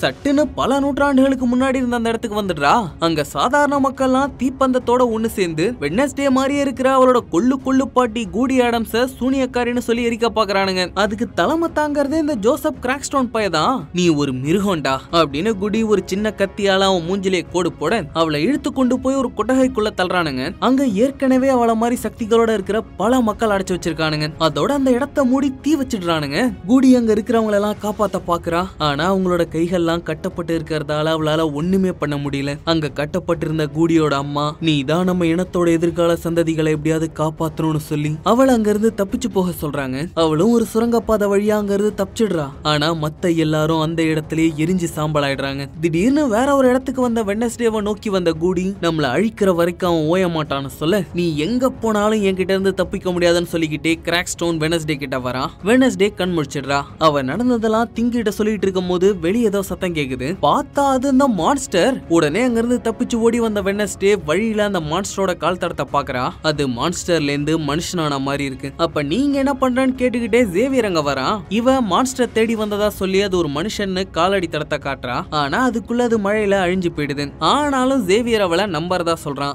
ஏன்னா அவன் ரோவனுக்கு ஒரு கேள்வியை கேட்டு மெசேஜ் அனுப்பியிருக்கான். அதுக்கு அவன் தப்பான பதில சொன்னதால அது ரோவன் இல்லைன்னு சேவியருக்கு புரிஞ்சிடுது. சரி இப்ப அது ஏன் இங்க வந்தேன்னு உண்மையை சொல்றியா? நான் கிராக் ஸ்டோனை தேடி வந்தேன். இது எல்லாமே ஏதோ ஒரு விதத்துல அவனோட சம்பந்தப்பட்டிருக்கு ஜேவியர் அதை கண்டுபிடிக்க நீ உன்னோட சைக்கிக் சக்தியை பயன்படுத்தினல அப்படின்னு அவன் கேட்க அவளும் ஆமான்னு ஒத்துக்கிறா. ஜேவியரோட அப்பா சைக்கிக் சக்தி கொண்ட பிரபலமானவருங்க. தங்களுக்கு தெரியற விஷயம் எப்பயுமே முழுசா நம்ப கூடாதுன்னு அவனோட அப்பா அடிக்கடி சொல்லுவாருன்னு ஜேவியர் சொல்றான். வெட்னஸ்டே அவ பார்த்தத அவன் கிட்ட சொல்ல அவன் அப்பையும் கிறுக்க மாதிரியே அதெல்லாம் அவளோட எமோஷனால தெரியுதுன்னு சொல்றான் அட போடான்னு சொல்லிட்டு அவங்கிறது கிளம்பிடுறா. அதுக்கப்புறம் அந்த சிலை திறப்பு விழாக்கு வரா. திங் கிட்ட கண்ணை காட்ட அவன் எல்லாம் தயாரா இருக்குன்னு சொல்றான். கொஞ்ச நேரத்துல சிலை திறப்பு விழா தொடங்குது. வென்னஸ்டேவும் மத்தவங்களோட உட்காந்து செல்ல வாசிச்சிட்டு இருக்கா. அப்ப திடீர்னு திங்கு வெடிமருந்த பத்த வைக்கிறான் அது அப்படியே சிலை கிட்ட போய் சிலை வெடிச்சிடுது. இந்த திங் பையன் சிலையில இருந்து ஊத்துற தண்ணியில கேஸ் கலந்துட்டாங்கோ. சில பத்தி எரிஞ்சு உருகி ஊத்திக்கிட்டு இருக்கு அதை பார்த்து மக்கள்லாம் சிதறி ஓடிக்கிட்டு இருக்காங்க. வெனஸ்டே என்னன்னா உய்யாரமா உட்கார்ந்து செலவாச்சிட்டு இருக்கா அத பார்த்த வீம்ஸுக்கு இது இவரோட வேலைதான்றது புரிஞ்சு போயிடுது. அவங்க செம்ம காட்டாயிடுறாங்க அவளை நெவர்மோருக்கு கூட்டிட்டு வந்து சும்மா வாங்கு வாங்குன்னு வாங்கிடுறாங்கப்பா. நீ பண்ண வேலையால எவ்வளவு பெரிய பஞ்சாயத்து ஆயிடுச்சு தெரியுமா? ஏற்கனவே நமக்கும் சாதாரண மக்களுக்கும் எரிஞ்சிட்டு இருந்த நெருப்புல பெட்ரோலை ஊத்திட்டியடி பாவி. அப்படின்னு அவங்க கத்த இவன் என்னடா நான் அதை பண்ணவே இல்லைன்னு சாதிக்கிறா. ஆமா அதை திங்கள பண்ணா? எனக்கு உன்னை பத்தி நல்லா தெரியும் வெனஸ்டே. என் கிட்டயே நடிக்காத. நடிக்கிறது நான் இல்ல பிரின்சிபல். இங்க இருக்கிற மக்கள் தான் நம்மள்ட்ட நடிச்சிட்டு இருக்காங்க அவங்க நம்மளெல்லாம் தீண்டு தகாதவங்க மாதிரி பாக்குறாங்க. அவுட்ரீச் டேன்னு ஒன்ன வச்சு உண்மையான வரலாறு அழிக்க பாக்குறாங்க. ஜோசப் கிராக்ஸ்டோனோட உண்மையான கதை தெரிஞ்சும் நீங்க அதுக்கு தொண போறீங்கல்ல? இது நமக்கும் சாதாரண மக்களுக்கும் இடையில இருக்கிற பந்தத்தை மேம்படுத்தும்னு நினைச்சுதான் நான் அப்படிலாம் பண்றேன் வெனஸ்டே அது என்னைக்கும் நடக்க போறதில்ல. ஏன்னா அவங்களுக்கு என்னைக்கும் நம்மள பிடிக்காது. நடந்த சரித்திரத்தை நாம எழுத போறோமா? இல்ல நடக்காத சரித்திரத்தை அவங்க எழுத போறாங்களா? அப்படிங்கிறது மட்டும்தான் இப்ப இங்க கேள்வி. அப்படின்னு வெனஸ்டே உணர்ச்சி பூர்வமா பேசுறா. போய் தூங்குன்னு சொல்லி வீம் அவளை அனுப்பி வச்சிடுறாங்க. அதே நேரம் அந்த பாலடைஞ்ச கட்டடத்துல பிச்சைக்காரன் திருடிட்டு வந்த கேமராவை நோண்டிட்டு இருக்கான். அப்ப அங்க வந்த மான்ஸ்டர் அவனை கொண்டுட்டு போயிடுது. இன்னொரு பக்கம் ஈனித் நல்லா ட்ரெஸ் பண்ணிட்டு வந்து ஏஜாக்ஸ்க்காக காத்துக்கிட்டு இருக்கா. ஆனா ரொம்ப நேரம் ஆகி அவன் வரவே இல்லையா? அதனால ஈனித் செம்ம காண்டாயிடுறான் ஏன்னா அந்த பையன் சிலை ஆயிட்டாங்க குளிக்கிறதுக்காக தொப்பிய கட்டுறதுக்கு முன்னாடி கண்ணாடி எல்லாம் நல்லா துண்டை போட்டு மூடிட்டு தான் போயிருக்கான். ஆனா துண்டு நழுவி கீழே விழுந்துருது. அதுல அவன் தலைய பார்த்து அவனே சிலையாயிடுறான். இன்னொரு பக்கம் தான் ஹில் அந்த ரகசிய அறைக்கு போறாங்க. இங்க வீம்ஸ் அவங்களோட அறையில உட்கார்ந்து ஸ்கூலோட பழைய மாணவர்கள் பத்தின புத்தகத்தை பார்த்துட்டு இருக்காங்க அப்ப வெனஸ்டே அம்மாவோட போட்டோவை பார்த்தவங்க அதை கிழிச்சு நெருப்புல போட்டுடுறாங்க. ஆஹா இவங்க ரெண்டு பேருக்குள்ளேயும் ஏதோ சொல்ல மறந்த கதை இருந்திருக்கும் போலயே. அதே நேரம் அந்த ஜேவியர் வேற ஒரு ஷெட்ல இருந்து வெளியே வரான். அவன் கழுத்துல மான்ஸ்டர் கீர்னா மாதிரி காயம் ஏற்பட்டிருக்கு. இன்னொரு பக்கம் போலீஸ்க்கு பிச்சைக்காரன் கொல்லப்பட்ட தகவல் கிடைச்சு அங்க வந்து துப்பு தொலைக்கிட்டு இருக்கேன். அத அந்த பக்கமா ட்ரெக்கிங் வந்த யூஜின் பாக்குறான். எவ்வளவு தைரியமா தனியா ட்ரெக்கிங் வந்திருக்கான் பாருங்களேன். அப்ப அங்க கிடைச்ச கேமராவை சாண்டியாகோ ஷெரீஃப் கிட்ட கொடுக்க அவர் அதை எடுத்துட்டு வந்து டெவலப் பண்ணி பாக்குறாரு. அதுல அந்த மான்ஸ்டரோட முகம் பதிவாகிருக்கு அந்த பிச்சைக்காரன் கேமராவை நோண்டிட்டு இருக்கும் போது தானே மான்ஸ்டர் அவனை கொண்டுச்சு அதான் அதோட முகம் கேமரால பதிவாயிருக்கு இந்த மான்ஸ்டரை கண்டுபிடிக்கணும்னா முதல்ல அது கொன்னவங்கள பத்தி தெரிஞ்சுக்கணும்னு முடிவு பண்ண வெனஸ்டே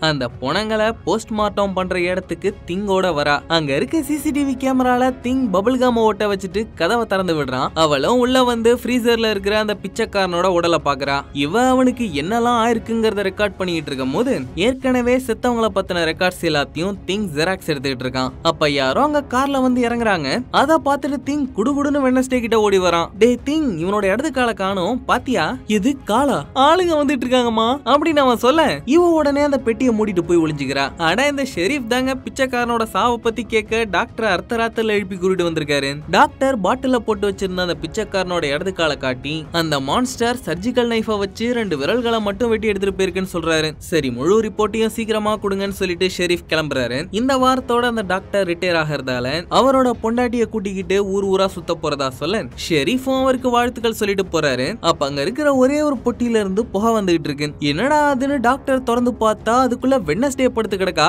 எங்க வந்து ஒளிஞ்சிருக்கா பாத்தீங்களா?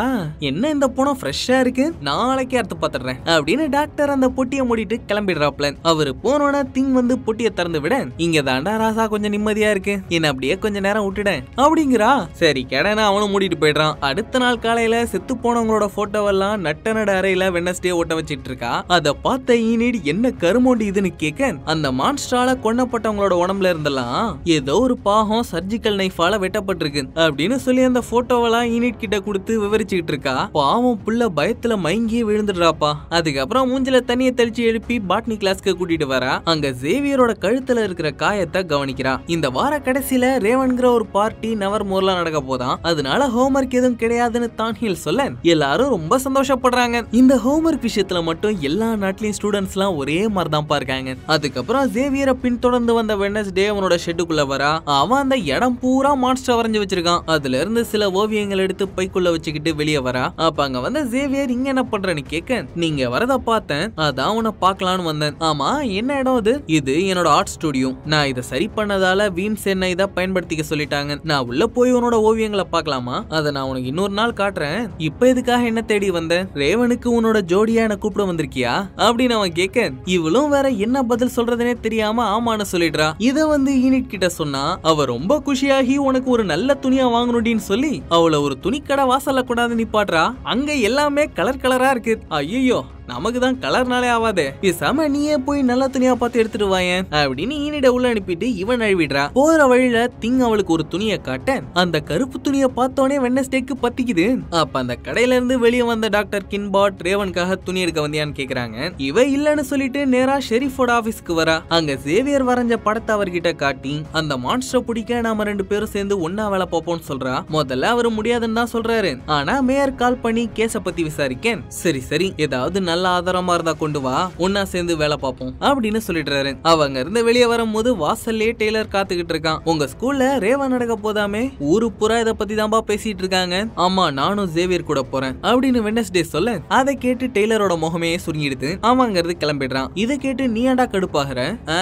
ஒரே வைத்தறிச்சலா இருக்குது. நீ என் கூட பழகிறத வச்சு நான் ஒண்ணு நினைச்சேன். அதுக்கெல்லாம் எனக்கு இப்போ நேரம் இல்ல. தயவு செஞ்சு பசங்க கூட எந்த எண்ணத்துல பழகுறீங்கிறத கொஞ்சம் சொல்லி தொலைங்கடி. ஒரே மண்டை குடைச்சலா இருக்கு. அப்படின்னு சொல்லிட்டு போறான். இவ அவனை அப்படியே பாத்துக்கிட்டு இருக்கா. இல்ல நான் என்ன சொல்ல வரேன்னா ஒன்னும் சொல்ல தேவையில்ல. ஒழுங்கா பைக்குள்ள போயிடு. அப்படின்னு திங் மேல பயிராப்பா இவளுக்கும் டெய்லர் மேல ஒரு ஈர்ப்பு இருக்கு. ஆனா அதை வெளியே காட்டிக்க மாட்றா. இன்னொரு பக்கம் ஈனிட் வெதர் வீன்ல உட்கார்ந்திருக்கா. அங்க வந்த லூக்கஸ் அவகிட்ட கடலை போடலான்னு பாக்க அவ என்னன்னா அவன் வெனஸ்டே கிட்ட வாங்கின அடி முத கொண்டு மொத்த ஜாதகத்தையும் சொல்றா? சரி எதுக்காக என்ன பார்க்க வந்த ஈனிட் கேட்க? நீ ரேவனுக்கு ஒரு ஜோடியை தேடுறதா கேள்விப்பட்டேன். அதுக்கு நாம ஏன் ஒன்னா போக கூடாது அப்படின்னு கேக்குறான். அவளும் ஏஜாக்ஸ் மேல இருந்த கடுப்புல சரின்னு சொல்லிடுறா. அதே நேரம் தேனி பண்ணிக்கு வந்த வெனஸ்டே அந்த படத்தை யூஜின் கிட்ட காட்டிக்கிட்டு இருக்கா. அவன் ஒரு தேன் பாட்டில் அவகிட்ட காட்டி இத உன் ரூம்மேட் கிட்ட கொடுத்து அவளை நான் ரேவனுக்கு கூப்பிட்டா வருவாங்கிற? சத்தியமா வரமாட்டா. பரவாயில்லப்பா நான் முயற்சி பண்றேன். நீலாம் மொக்கா வாங்கினாதானா திருந்துவ? சரி நீ யார் கூட போற? ஜேவியர் கூட போறேன். ஆனா அவனை பிடிச்சதாலலாம் அவன் கூட போல. எனக்கு அவன்கிட்ட சில வேலைகள் இருக்கு. தோ இந்த படம் இருக்கே. இத வச்சு எப்படியாவது அந்த மான்ஸ்டரை கண்டுபிடிக்கணும்டா. அதுல வட்ட வட்டமா இருக்குல்ல. அது எங்க இருக்குன்னு எனக்கு தெரியும்பா. அப்படின்னு சொல்லி அவளை அங்க கூட்டிட்டு வரான். ரெண்டு பேரும் உள்ள போய் பார்த்தா அங்க நிறைய மிருகங்களோட எலும்பு கூடுங்கள்லாம் கிடக்கு. அதோட கட்டி வைக்கிற ஒரு சங்கிலியும் இருக்கு. அப்ப பக்கத்துல இருந்த பாறையில மாட்டி இருந்த அந்த மான்ஸ்டரோட நகத்தை பார்த்த வெனஸ்டி அத ஒரு ஆதாரத்துக்காக எடுத்துக்கிறா அதுல இருக்கிற டிஎன்ஏ ஜேவியரோடது தானாங்கிறத கண்டுபிடிக்கிறதுக்காக அந்த ஷெட்ல அவனோட டிஎன்ஏ இருக்கிற பொருள் ஏதாவது கிடைக்குமான்னு பார்க்க வரா அதை எடுத்து வச்சுக்கிட்டு இருக்கும் போதே ஜேவியர் அங்க வந்துடுறான். நீ இங்க என்ன பண்ற? நீ எப்படி இந்த மான்ஸ்டர் வரைஞ்ச? எனக்கு இதுதான் தொடர்ந்து கனவுல வந்துகிட்டே இருக்கு. இதை வரைஞ்சுக்கிட்டு இருக்கும் போதுதான் கேன்வாஸ்ல இருக்கிற கிளாஸ் என்ன கிரீட்டன் ஒருவேளை இதெல்லாம் உன்னோட கனவுல வராம உன்னோட ஞாபகமா இருந்துச்சுன்னா நான் உன அந்த மான்ஸ்டர் இல்ல வெனஸ்டே அப்படின்னு அவன் சொல்ல அவ அந்த படத்தை காட்டி அப்புறம் எப்படி மான்ஸ்டர் பதுங்கி இருக்கிற இடத்த நீ வரைஞ்சன்னு கேக்குறா? இதுக்காக தான் தன்னை ரேவனுக்கு கூப்பிட்டுருக்கான ஜேவியருக்கு நல்லாவே புரிஞ்சிடுது. அதனால என் மூஞ்சிலேயே முழிக்காதன்னு சொல்லி அவளை வெளியே அனுப்பிடுறான். அவ ரத்தக்காரப்பட்ட அவனோட துணியையும் மான்ஸ்டரோட நகத்தையும் கொண்டாந்து ஷெரீஃப் கிட்ட கொடுத்து அதுல இருக்கிற டிஎன்ஏ ஒத்து போகுதான்னு பார்க்க சொல்றா. இந்த துணி யாரோடது? அது எல்லாத்தையும் நான் மேட்ச் ஆனோன்னு சொல்றேன். அப்படின்னு அவ சொல்ல ஷெரீஃபும் அந்த டிஎன்ஏ டெஸ்ட்டுக்கு அனுப்பி வைக்கிறாரு. அதுக்கப்புறம் ஸ்கூலுக்கே திரும்ப வரா. அங்க யூஜின் கப்பல் கவுந்தா மாதிரி கணத்துல கை வச்சுட்டு உட்காந்துருக்கான் ஈனிட் லூக்கஸ் கூட போறது தெரிஞ்சு பைபிள மனசுடைஞ்சு போய் உட்காந்துருக்கான்ப்பா நான் தான் சொன்னேன்ல சரி இப்ப எனக்கும் ஆள் இல்ல. அப்படின்னா நாம ரெண்டு பேரும் ஒன்னா போலான்னு சொல்ல வரியா? ஒன்னாதான் போறோம். ஆனா காட்டுக்குள்ள இருக்கிற குகைக்கு போய் மான்ஸ்டர் கண்டுபிடிக்க போறோம். அப்படின்னு சொல்லி அங்க வரைஞ்சிட்டு இருந்த சேவியரை பார்த்துட்டு போறா. அப்ப பியாங்கா அவன் கிட்ட வந்து அவனை ரேவனுக்கு கூப்பிடுறாப்பா. இந்த திங் இருக்கானே அந்த பைய வெனஸ்டே அடிக்கிற மாதிரி ஒரு லெட்டர் அடிச்சு கொண்டு போய் டெய்லர் கிட்ட போட்டுட்டு வந்துடுறான். அவனும் அதை பார்த்துட்டு ரொம்ப ஆனந்தப்படுறான். அந்த வார கடைசியில எல்லாரும் அவரோட காத்துக்கிட்டு இருந்த ரேவன் ஆரம்பிக்குது. பசங்களும் பக்காவா தயாராகி அவங்களோட ஜோடிகளோட வந்துட்டு இருக்காங்க. அவங்களெல்லாம் தான்ஹில் வரவேற்றுட்டு வீம்ஸ் கிட்ட வந்து விழா சும்மா களை கட்டுதுன்னு சொல்றா. அவங்க படிச்சப்பையும் இப்படிதான் இருந்திருக்கும்லான்னு கேக்குறா. ஆனா வீம்ஸுக்கு கசப்பான அனுபவங்கள் தான் இருக்குன்னு சொல்றாங்க. வீம்ஸ் வெனஸ்டேவோட அப்பா கோம்ஸ தன்னோட ஜோடியா கூட்டிட்டு போக நினைச்சிருக்காங்க. ஆனா அதுக்கு முன்னாடியே வெனஸ்டேவோட அம்மா அவரை தட்டி தூக்கிட்டாங்களாம். ஓ இதுதான் அந்த பஞ்சாயத்தா? இன்னொரு பக்கம் வெனஸ்டே மான்ஸ்டர் வேட்டைக்கு தயாராயிட்டு இருக்கா அப்ப யாரோ கதவை தட்டுற சத்தம் கேட்க யூஜின்னு நினைச்சு கதவை திறக்கிறா ஆனா வந்திருக்கிறது டெய்லர் பக்காவா தயாராகி வந்திருக்கிறான்ப்பா. அவளோட கடிதம் கிடைச்சதா சொல்ல டே திங் இதெல்லாம் உன் வேலைதானா?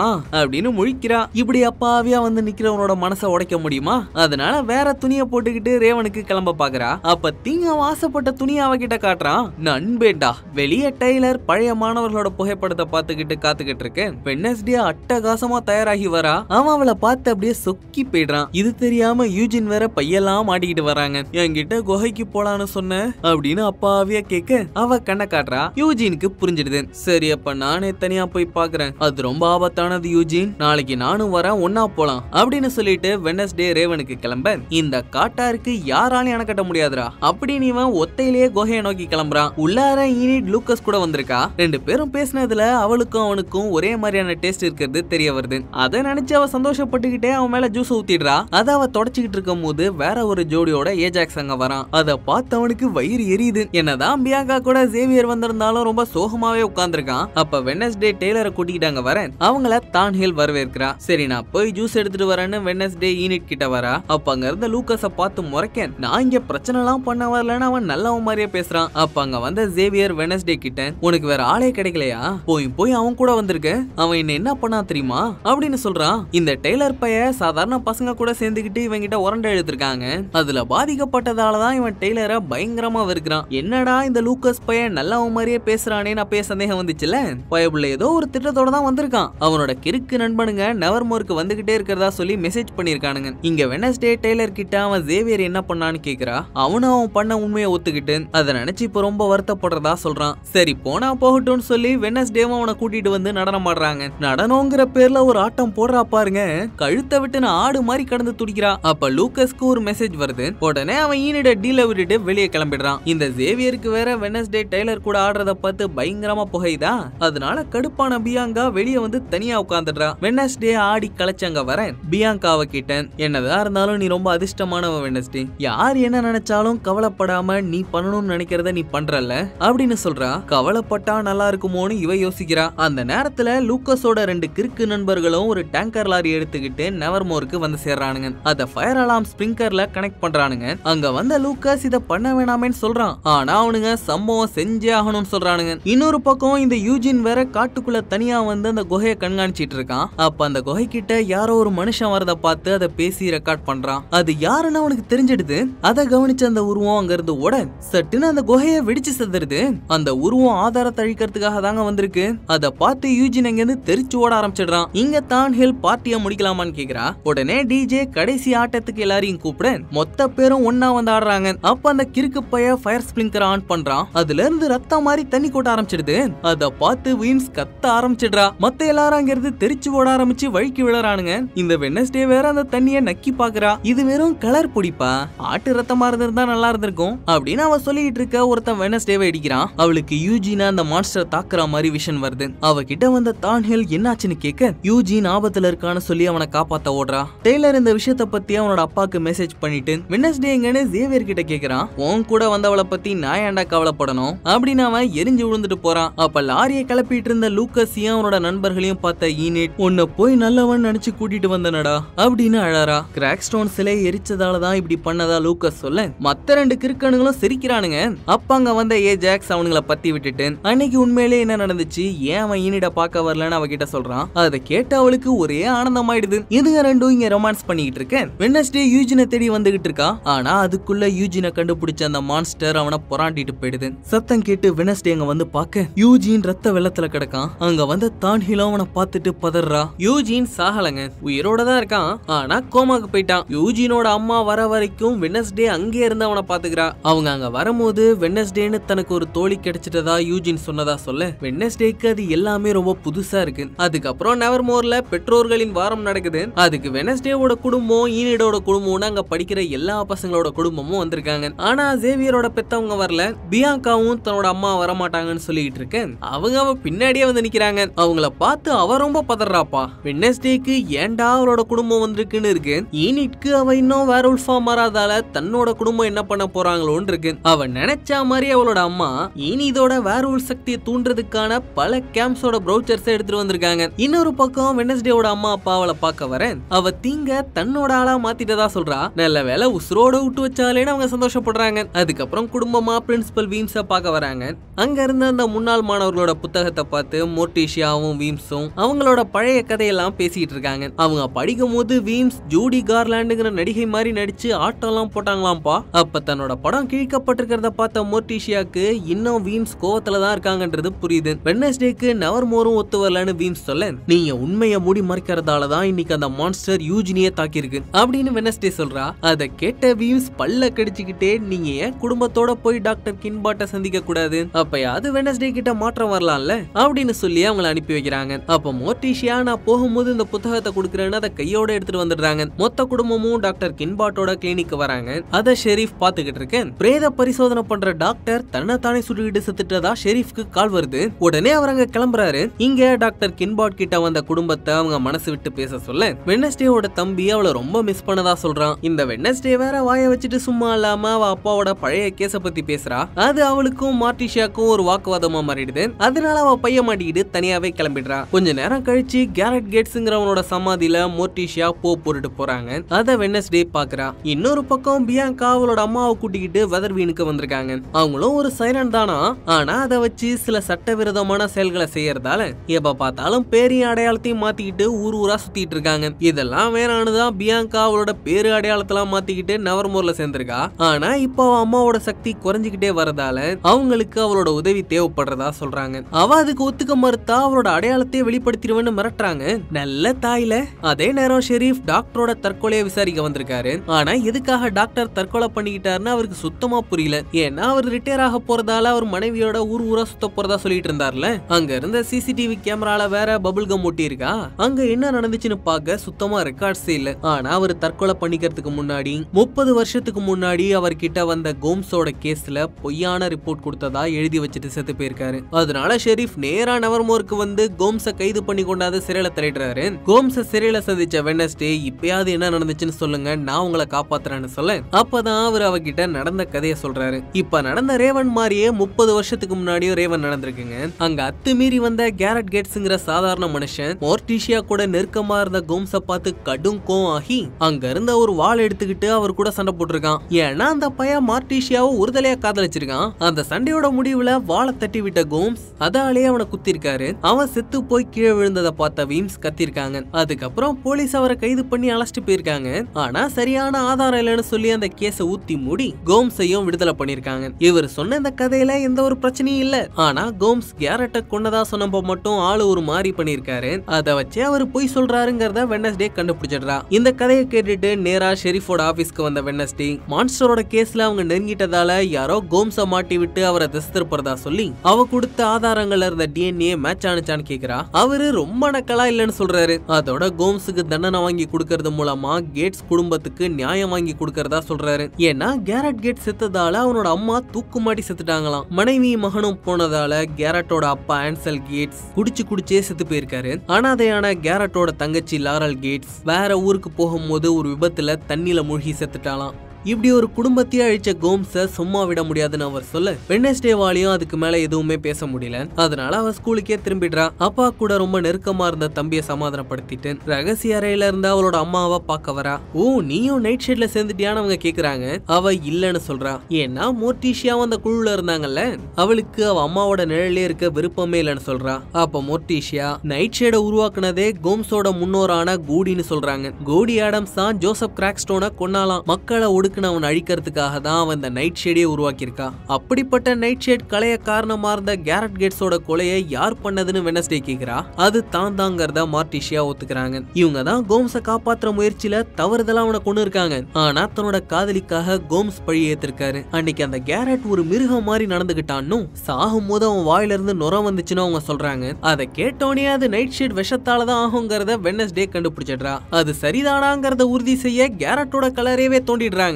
நீலம் படிஞ்சிருக்கிற கேரட்டோட முகத்தை வெனஸ்டே பாத்துக்கிட்டு இருக்கிறப்போ டெபுட்டி சாண்டியாகோ அங்க வந்துடுறாங்க. அடுத்த ராத்திரில சமாதியவா தோன்றீங்கன்னு ரெண்டு பேரையும் தூக்கி கொண்டாந்து சிறையில் அடிச்சிடுறாங்க. ஆனா வெனஸ்டே வரும்போது கேரட்டோட ஒரு விரலை கையோட கொண்டு வந்துட்டா. அப்ப வெனஸ்டே அந்த விரலை தொடும்போது ரேவன் அன்னைக்கு ராத்திரி என்ன நடந்துச்சுங்கிறது அவளுக்கு தெரியுது. கேரட்டோட குடும்பம் கிராக்ஸ்டோன் வம்சத்துல வந்தவங்க அது மட்டும் இல்லாம கிராக்ஸ்டோனை கொன்னதுக்கு அப்புறம் அவனோட நிலத்தையே புடுங்கி அதுல தான் நெவர் மோரையே கட்டியிருக்காங்க. அதுக்கு பழிவாங்க நினைச்ச கேரட்டோட அப்பா ஆன்சல் கேட்ஸ் ரேவன் ரேவன்லயே வச்சு நெவர்மோர்ல இருக்கிற மொத்த பெரியும் கொள்ள விஷ பாட்டில கொடுத்து அனுப்பியிருக்காரு. அந்த விஷத்தை ஜூஸ்ல கலக்க வந்தப்பதான் கோம்ச மார்டிஷியா கூட பார்த்துட்டு அவர் கூட சண்டை போட்டிருக்கான். அந்த சண்டையில விஷகுப்பி உடஞ்சி அவன் மேல குத்தி அந்த விஷம் அவன் உடம்பு முழுக்க பரவிருக்கு இது எல்லாத்தையும் வெனஸ்டே மார்டிஷியா கோம்ஸ் கிட்ட சொல்றா. அடுத்த நாள் மேயர் வெனஸ்டேவையும் மார்டிஷியாவையும் விடுதலை பண்ணி அவங்கள தன்னோட இடத்துல வச்சு சந்திக்கிறாரு. அப்ப வெனஸ்டே கொலை நடந்த அன்னைக்கு என்ன நடந்துச்சுன்னு சும்மா புட்டு புட்டு வைக்கிறா. இந்த கேஸ அன்னைக்கு ஷெரீஃபா இருந்த மேயர் தாங்க கையாண்டிருக்காரு. அன்னைக்கு பிரேத பரிசு பரிசோதனை பண்ணும் போதே டாக்டருக்கும் இவருக்கும் விஷம் விஷயம் தெரிஞ்சிருக்கு. அதோட ஆன்சலும் தண்ணிய பொருட்டு ஜூஸ்ல விஷம் கலக்க போனதை ஷெரீஃப் கிட்ட உளறி இருக்காரு ஒரு சாதாரணமானவன் ஒடுக்கப்பட்டவங்கள கூட்டமா கொள்ள முயற்சி பண்ணிருக்கான்னு தெரிஞ்சா மிகப்பெரிய கலவரமே வெடிச்சிரும்னு ஆதாரங்களை அழிச்சு அந்த கேஸ ஊத்தி மூடி கோம்ஸையும் விடுதலை பண்ணிருக்காங்க மோர்டிஷியா கேரட் கேட்ஸ் அவங்க பின்னாடியே வந்து தொல்லை பண்றதா அன்னைக்கு ஷெரீஃபா இருந்த இவர்கிட்ட கம்ப்ளைண்ட் கொடுத்திருக்காங்க. ஆனா அன்னைக்கு கேன்சல் கேட்ஸ் ரொம்ப செல்வாக்கோட இருந்ததால கேரட்டை ஒண்ணுமே பண்ணாம விட்டுருக்காரு. அதோட இந்த பிரச்சனையில ஆன்சலோட பேரு வெளியே தெரியாம பாத்துக்கிட்டதுக்கு கூலியா? ஆன்சல் அவனோட செல்வாக்க பயன்படுத்தி அடுத்த வருஷமே இவரை மேயர் ஆக்கியிருக்கான். இதெல்லாத்தையும் சொல்லி மோர்டிஷியாவும் வெனஸ்டேவும் மேயருக்கு கொக்கி போட்டுடுறாங்க. வேற வழி இல்லாம அவரும் கோம்ஸ் கிட்ட மன்னிப்பு கேட்டு அவரை விடுதலை பண்ண சொல்லிடுறாரு. வெனஸ்டேவும் மார்டிஷியாவும் போனதுக்கு அப்புறம் கேட்ஸ் குடும்பத்தோட ஃபைல்ஸ மறுபடியும் எடுத்து பாக்குறாரு அதுல ஒரு விஷயம் அவருக்கு சந்தேகத்தை உண்டாக்குது. இப்படி அம்மாவும் பொண்ணு சேர்ந்து ஒரு குடும்பமா கோம்ஸ காப்பாத்திட்டாங்களா?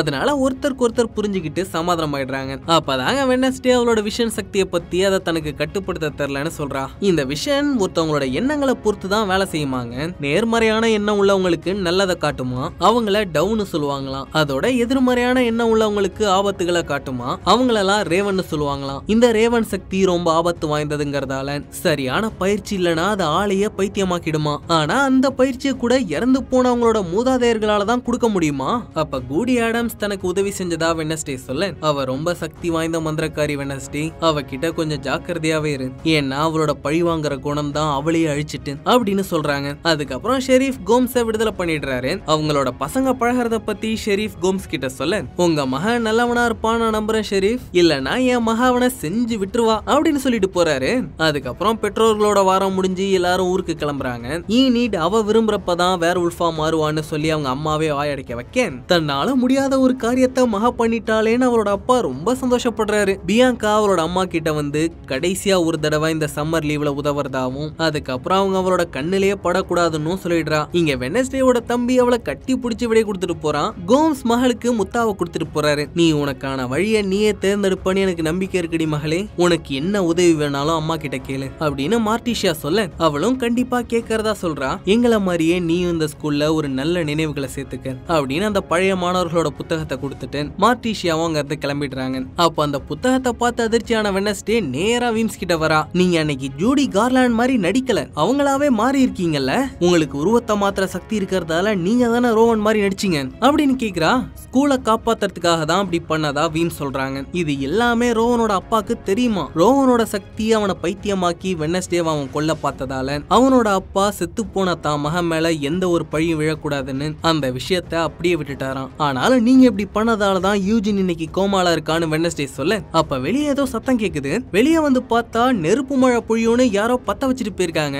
அடுத்த நாள் ராத்திரி வெனஸ்டே ஓஜா போர்டை வச்சு கூடியோட பேச முயற்சி பண்ணிட்டு இருக்கா. அப்ப ஆடிக்கிட்டே கதவை திறந்த ஈனிட் மெழுகுவத்தியை அணைச்சிடுறா. வெனஸ்டே அவ பண்ணிட்டு இருந்ததை பத்தி ஈனிட் கிட்ட சொல்லிட்டு இருக்கு. அவளோட அறைக்குள்ள ஒரு கடிதம் வந்து விழுது. உன் கேள்விகளுக்கான பதில் வேணும்னா கிராக்ஸ்டோன் சமாதிக்கு வான்னு அதுல யாரோ ஒட்டி அனுப்பியிருக்காங்க. இவளும் ஈனிட அழைச்சிக்கிட்டு அர்த்த ராத்திரில அங்க வரா.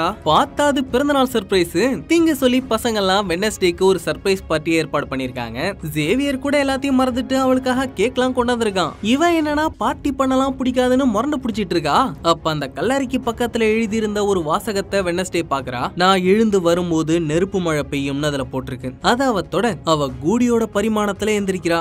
கூடியோட வம்சத்துல வந்த ஒரே ரேவன் வெனஸ்டே தானா? வெனஸ்டே கூடி கிட்ட அவளோட சக்தியை எப்படி கட்டுப்படுத்துறதுன்னு கேட்க இந்த சக்தியை யாராலையும் கட்டுப்படுத்த முடியாது வெனஸ்டே அதை திசை திருப்ப மட்டும்தான் முடியும். அந்த கிராக் ஸ்டோனை தடுக்கணும்னா முதல்ல இந்த இடத்த கண்டுபிடி அப்படின்னு ஒரு பாழடைஞ்ச பழைய மேன்ஷனோட கேட்டை காட்டுறா. ஒரு ரேவன் எப்பயுமே யார் உதவியும் இல்லாம தனியா தான் இருக்கும். நீயும் யாரையும் நம்பாம தனியாவே இருப்பேன். ஏன்னா நீ நல்லவங்களுக்குள்ளயும் இருக்கிற கெட்டதை பார்ப்பேன். அப்படின்னு சொல்லி வெனஸ்டேவை திரும்ப அனுப்பி வச்சிடுறா. அடுத்த நாள் காலையில கூடி காட்டின கேட்டை வெனஸ்டே வரைஞ்சுக்கிட்டு இருக்கேன். ஏமா உனக்கு ஒரு பிறந்த நாள் பார்ட்டி கொடுத்து ஆச்சரியப்படுத்தலான்னு பார்த்தா நீ என்னன்னா வழிப்பு வந்த மாதிரி விழுந்து எங்களை ஆச்சரியப்படுத்திட்ட? அப்படின்னு ஈனிட் புலம்பிட்டு இருக்கா. அப்ப வெனஸ்டேவோட அப்பா அம்மா அவளுக்காக கொடுத்துட்டு போன பரிசை திங்க் காட்டுறான். அதுல போஸ்ட் மார்ட்டம் பண்றதுக்கு தேவையான எல்லா பொருளும் இருக்கு. அவ சாம்பிள் பார்க்க செத்து போன அணிலையும் வச்சிருக்காங்க.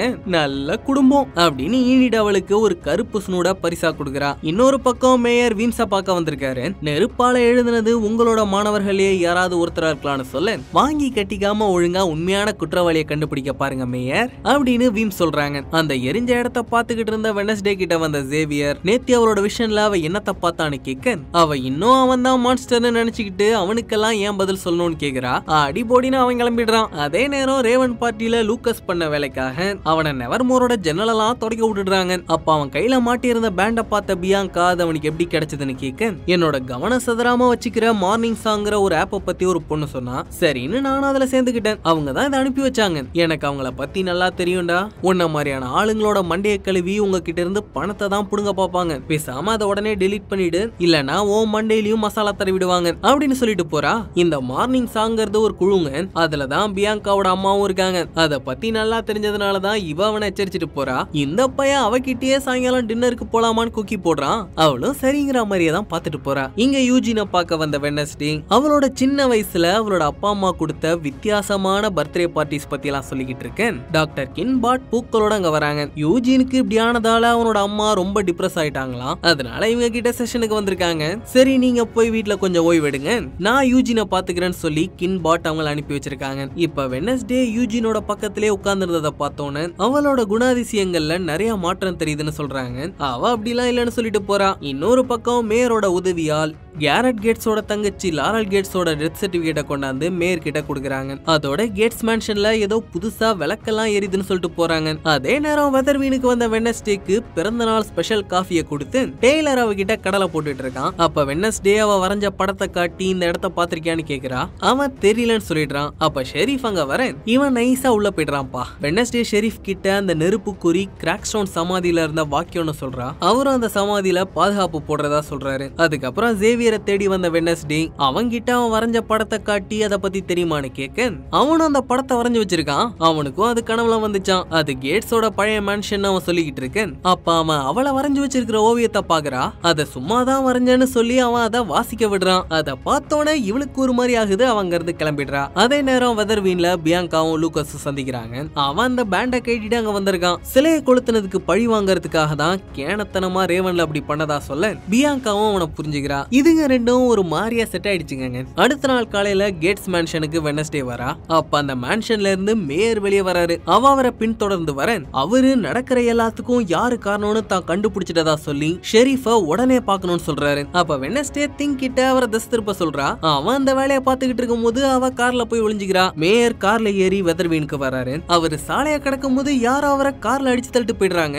அந்த நீல நிற கார்ல நம்பர் பிளேட் கூட இல்ல. ஷெரீஃப் பதறி அடிச்சுட்டு வெளியில ஓடி வராரு. அப்ப வெனஸ்டே கார்ல இருந்து இறங்கி வரா. மேயர் ஆம்புலன்ஸ்ல ஹாஸ்பிட்டலுக்கு அனுப்பி வச்சுட்டு வெனஸ்டே அவரோட கார்ல என்ன பண்ணிட்டு இருந்தாருன்னு ஷெரீஃப் கேட்க அவ நடந்ததை சொல்றா. அது மட்டும் இல்லாம இது எல்லாத்துக்கும் கேட்ஸ் குடும்பத்துக்கும் ஏதோ சம்பந்தம் இருக்குன்னு அவ சொல்ல ஷெரீஃப் அவளை நம்பவே மாட்டாரு ஆடா போயானா அவங்க இருந்து கிளம்பிடுறா. நவர்மோர்ல விஷயம் கேள்விப்பட்டு பீம்ஸ் அவளை விளாசு விளாசுன்னு விளாசிட்டுறாங்க. அதை கேள்விப்பட்ட தான் ஹெல் அவகிட்ட வந்து ஆறுதல் சொல்ல ஒரு ஆறுதலும் வேணான்னு சொல்லி வெனஸ்டே அவளை அனுப்பி வச்சிடுறா. அடுத்த நாள் காலையில டெய்லருக்கு கால் பண்ணி அன்னைக்கு ராத்திரி அவங்கிட்ட தனியா பேசணும்னு அவனை கார் எடுத்துட்டு வர சொல்ல அவன் முப்பத்தி ரெண்டு பல்லும் தெரியற மாதிரி இழிக்கிறான். அதை பார்த்த ஷெரீஃப் அந்த பைத்தியக்காரி கூட சேராதரா மகனேன்னு சொல்லிட்டு போறாப்ல. நம்ம பசங்க தான் காதல்னு வந்துட்டா யார் பேச்சையும் கேட்க மாட்டானுங்களே. அதனால இவன் காரோட அன்னைக்கு சாயங்காலம் அங்க வரான். இந்த வெனஸ்டே வேற பார்ட்டி பண்ணலாம்னு சொல்லி ஈனிட கூப்பிடுறேன் அதுவும் வழக்கம் போல குதிச்சுக்கிட்டே கிளம்புது. கடைசியா ரெண்டு பேரு தலையிலுமே மிளகா அரைச்சி அவங்கள கேட்ஸ் மேன்ஷனுக்கு கூட்டிட்டு வந்துடுறா. அடி பாவி உன்னை போய் நம்பி வந்தோமேடி. அப்படின்னு அவங்க ரெண்டு பேரும் அவ கூடவே உள்ள போறாங்க. அப்ப வெனஸ்டேவை தேடி அவளோட அறைக்கு வந்த சேவியர் வெனஸ்டே மாதிரியே டைப் ரைட்டரை தட்டிட்டு இருந்த திங் கிட்டா வைங்கன்னு கேட்க அவனும் உண்மையை சொல்லிடுறான். இங்க எதுங்க மூணும் கதவை உடச்சுக்கிட்டு மேன்ஷனுக்குள்ள வருதுங்க? அங்க மேயர் இடிச்சு தள்ளிட்டு போன கார் இருக்கு. பேசாம நாம ஷெரீஃபியே கூப்பிட்டுருவோம்னு சொல்றா. அவர் வந்தாருன்னா நம்மள புடிச்சு வெளியே தள்ளிடுவார்னு சொல்லி வெனஸ்டே அவங்கள கூட்டிக்கிட்டு வீட்டுக்குள்ள போறா. அங்க கேட்ஸோட குடும்ப புகைப்படம் இருக்கு. அடுத்து அந்த மேன்ஷன்ல இருக்கிற லைப்ரரிக்கு வந்தவன். ஒரு இடத்துல மட்டும் தூசு இல்லாம இருக்கிறத பார்த்துட்டு அதை அமுக்குறா. அப்ப ஒரு ரகசிய கதவு திறக்குது. உள்ளார பார்த்தா கிராக் ஸ்டோனுக்கு ஒரு பூஜாரியா கட்டி வச்சிருக்கானுங்க. அங்க ஏத்தி வச்சிருந்த மெழுகுவத்தி சூடாதா இருந்திருக்குன்றத பார்த்துட்டு அந்த வீட்டுல யாரோ இருக்காங்கன்னு சொல்றா. அடுத்ததா ஆளுக்கு ஒரு பக்கமா போய் பாப்போம்னு டெய்லர் கீழே தேட சொல்லிட்டு இவளுங்க ரெண்டு பேரும் மேல வராளுங்க. அங்க லாரலோட அற புத்தம் புதுசா இருக்கு. இங்க தாங்க மேயரோட உதவியால் சொன்ன விளக்கு எரிஞ்சிருக்கு. அப்ப அங்க இருந்த ஒரு பாட்டு போட்டியே வெனஸ்டே பாத்துக்கிட்டு இருக்கா? மான்ஸ்டர் வந்துட்டுன்னு டெய்லரோட சத்தம் கேக்குது. அது அவனுக்கு ஒரு கீரலை போட்டு விட உடனே வெனஸ்டே அந்த பொட்டி எடுத்து வச்சுக்கிட்டு வெளியே வரா. அந்த மான்ஸ்டர் அவங்கள தேடி மேல வந்துகிட்டு இருக்கு. இவளுங்க அந்த மான்ஸ்டர் கிட்ட இருந்து தப்பிச்சு அங்க இருந்த குட்டி லிஃப்ட் வழியா கீழே வந்துடுறாளுங்க. அங்க பார்த்தா மான்ஸ்டரால கொல்லப்பட்டவங்களோட காணாம போன பாகங்கள்லாம் இருக்கு. அப்ப அந்த மான்ஸ்டர் அங்கேயும் வந்துருது. ரெண்டு பேரும் ஜன்னல் வழியா அங்க இருந்து தப்பிச்சிடுறாங்க. வெளியே வந்தவளுங்க டெய்லரை விட்டுட்டமேன்னு மறுபடியும் உள்ள ஓடி வர அவன் அங்க மான்ஸ்டரால ஏற்பட்ட காயத்தோட உட்கார்ந்துருக்கான். அப்ப வெனஸ்டேவை தேடி அங்க வந்த ஜேவியர் டெய்லரோட ரத்தத்தை நிறுத்த அவனோட ஸ்கார்ஃபை கொடுக்குறான். இவன் அவனே சந்தேகப்படுறான் அதுக்கப்புறம் டெய்லர் அவனோட வீட்டுக்கு கூட்டிட்டு வந்து அவனோட காயத்துக்கு ஒட்டு போட்டுட்டு இருக்கேன் ஷெரீஃப் அங்க வந்துடுறாரு அவர்கிட்ட நடந்ததெல்லாம் சொல்லி அவர் அழைச்சிக்கிட்டு மேன்ஷனுக்கு வந்தா அந்த இடமே ரொம்ப சுத்தமா இருக்கு. அதை பார்த்து செம கடுப்பான ஷெரீஃப் இனிமே என் மகன் கிட்ட நெருங்கினா உன்னை தொலைச்சிருவேன் அப்படின்னு சொல்லி அவளை நவர்மூர்லயே கொண்டாந்து விட்டுட்டு போயிடுறாரு. இந்த விஷயம்லாம் தெரிஞ்ச வீம்ஸ் படிக்கட்டுக்கிட்டே வெனஸ்டேக்காக காத்துக்கிட்டு இருக்கேன். அவ ரோவன் காட்டின படத்தை அவங்க கிட்ட காட்டி அவன் சொன்னதை சொல்றா. இதை இப்படியே விட்டீங்கன்னா நீங்க காப்பாத்தணும்னு நினைக்கிற இந்த ஸ்கூலே அழிஞ்சிரும். எனக்கு இன்னொரு வாய்ப்பு கொடுங்க அப்படின்னு கேக்குறா. அவங்களும் அவளுக்கு கடைசியா ஒரு வாய்ப்பு கொடுக்குறாங்க. ஆனா அவ ஸ்கூலை விட்டு எங்கேயும் போக கூடாதுன்னு சொல்லிடுறாங்க. வெட்னஸ்டே பண்ண வேலைக்கு ஈட் வேற பொட்டி படுக்கையெல்லாம் கட்டிக்கிட்டு வேற ஒரு அறைக்கு கிளம்பிடுறா. தனி ஆளா அந்த அறையில உட்கார்ந்துருந்த வெட்னஸ்டேக்கு கூடி சொன்னது ஞாபகம் வருது. அப்ப அவ லாரலோட அறையில இருந்து எடுத்துட்டு வந்த பொட்டி எடுத்து பார்க்க அதுக்கு அடியில அவளையும் அவளோட குடும்பத்தையும் யாரோ எடுத்து வச்சிருந்த போட்டோ இருக்கு. அதை பார்த்ததுக்கு அப்புறமா தான் வெட்னஸ்டேவோட குடும்பத்துக்கும் நடக்கிற சம்பவங்களுக்கும் ஏதோ சம்பந்தம் இருக்குன்னு வெட்னஸ்டேக்கு புரியுது. அந்த நேரத்துல மருத்துவமனையில இருக்கிற மேயரோட அறைக்கு யாரோ வராங்க. மேயரோட மூச்சு குழாய புடுங்கி விட்டு அவரை கொண்டுட்டு போயிடுறாங்க. அடுத்த நாள் மேயரோட இறுதி சடங்கு நடக்குது. அதுல கலந்துக்கிறதுக்காக நகரத்துல இருக்கிற எல்லாருமே அங்க வந்திருக்காங்க. ஷெரீஃப் லூக்கஸ்க்கும் மேயரோட மனைவிக்கும் ஆறுதல் சொல்ல துக்கத்துக்கு வந்த எல்லாரும் அங்க இருந்து கிளம்புறாங்க. அப்ப தூரத்துல யாரோ அவங்கள கண்காணிச்சுட்டு இருக்கிறத வெனஸ்டே பாக்குறா. உடனே அவனை துரத்திட்டு வரா. அது அவரோட சித்தப்பு ஃபெஸ்ட்ரு. ஆளு சரியான திருட்டு கைங்க. பல ஊர்கள்ல கைவரிசையை காட்ட காட்டினதால பல ஊர் போலீஸ் அவரை தேடிட்டு இருக்கேன். இப்ப கூட எங்கேயோ கை வைக்க தான் வந்திருக்கிறாப்ல. அப்படியே போற போக்குல பொண்ணை பார்த்துட்டு போலாமே நீங்க வந்திருக்காரு. அதனால வெனஸ்டே யாருக்கும் தெரியாம அவரை கொண்டாந்து யூஜினோட தேனி பண்ணையில தங்க வைக்கிறா. அவங்க நடந்துகிட்டு இருக்க கதையெல்லாம் அவர்கிட்ட சொல்ல சித்தப்பு அந்த மான்ஸ்டர் எப்படி இருக்கும்னு கேக்குறாப்ல. வெனஸ்டே அந்த படத்தை காட்டணும்னு அதோட பேரு ஹைடுன்னு சொல்றாரு. இத பத்தின எல்லா விவரமும் நத்தானியல் ஃபாக்னர்ங்கிற ஒருத்தர் எழுதின டைரியில இருக்குன்னு சொல்றாப்ல. அதோட அந்த நத்தானியல் ஃபாக்னர் தான் இந்த நவர்மோரிய கட்டினதா?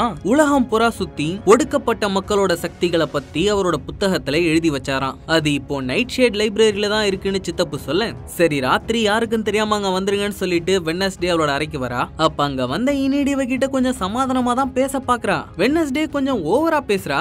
அடி பொடின்னு சொல்லிட்டு அவ கிளம்பிடுறா. அன்னைக்கு ராத்திரியே வெட்னஸ்டே நைட் ஷேட் லைப்ரரிக்கு வரா. அங்க ஜேவியர் இருக்கான். வெட்னஸ்டே அப்பையும் ஜேவியர் தான் மான்ஸ்டர்ங்கிற மாதிரியே பேச உனக்கு நண்பர்கள் யாரு? எதிரிகள் யாருன்னே தெரியல வெனஸ்டே ஒருவேளை நான் தான் அந்த மான்ஸ்டர்னா உன்னையே நான் இன்னும் சொல்லல. ஏன்னா உனக்கு என் மேல கொஞ்சம் அன்பு இருக்கு. அப்படின்னு வெனஸ்டே சொல்றா. அதெல்லாம் என்னைக்கோ போயிடுச்சுன்னு அவன் கிளம்பிடுறான். அப்ப வெளியே வந்த சித்தப்பு கையிலேயே கரண்ட் விடுறா அப்படி அவரை பார்த்து செம்ம கடுப்பான திங் அவரோட குறவலைய பிடிச்சு நெரிக்க ஆரம்பிச்சிடுறான். நம்மால தலைவர் ஒரு திருட்டு கூட்டிட்டு போய் பாதியிலே அத்து விட்டு வந்திருக்கிறாப்ல அந்த கணக்கை தான் இப்ப தீத்துக்கிட்டு இருக்கிறான். சரி சரி விளையாண்டது போதும். முதல்ல வந்து அந்த டைரியை காட்டுங்க. அப்படின்னு வெனஸ்டே சொல்றா. சித்தப்பும் அந்த இடத்த காட்ட திங் அந்த லாக்கரை திறக்கிறான். அதுக்குள்ள அந்த புத்தகம் இருக்கு. அதை வெனஸ்டே அவரோட அறைக்கு எடுத்துட்டு வந்து புரட்டி பாக்குறா அதுல ஹைட பத்தி எல்லாமே விலாவாரியா இருக்கு. ஒருத்தருக்குள்ள இருக்கிற ஹைட யாராவது ஹிப்னாசிஸ் மூலமாவோ இல்ல ரசாயன மூலமாவோ தூண்டி விட்டா அதை செய்யறவங்களுக்கு தான் அந்த ஹைடு நன்றியோட இருக்குமா? அதோட அவங்க என்ன சொன்னாலும் கேக்குமா? அத பார்த்தோனியா அவ தேடுறது ஒருத்தர் இல்ல ரெண்டு பேருங்கிறது வென்னஸ்டேக்கு நல்லா புரிஞ்சிடுது. அப்ப யாரோ கதவை திறக்கிற சத்தம் கேக்குது. உடனே அவன் அந்த புத்தகத்தை எடுத்து உள்ள வைக்க தான் ஹில் அறைக்குள்ள வரா. கூடையே இருந்த சித்தப்பு எங்கன்னு வென்னஸ்டே திரும்பி பார்க்க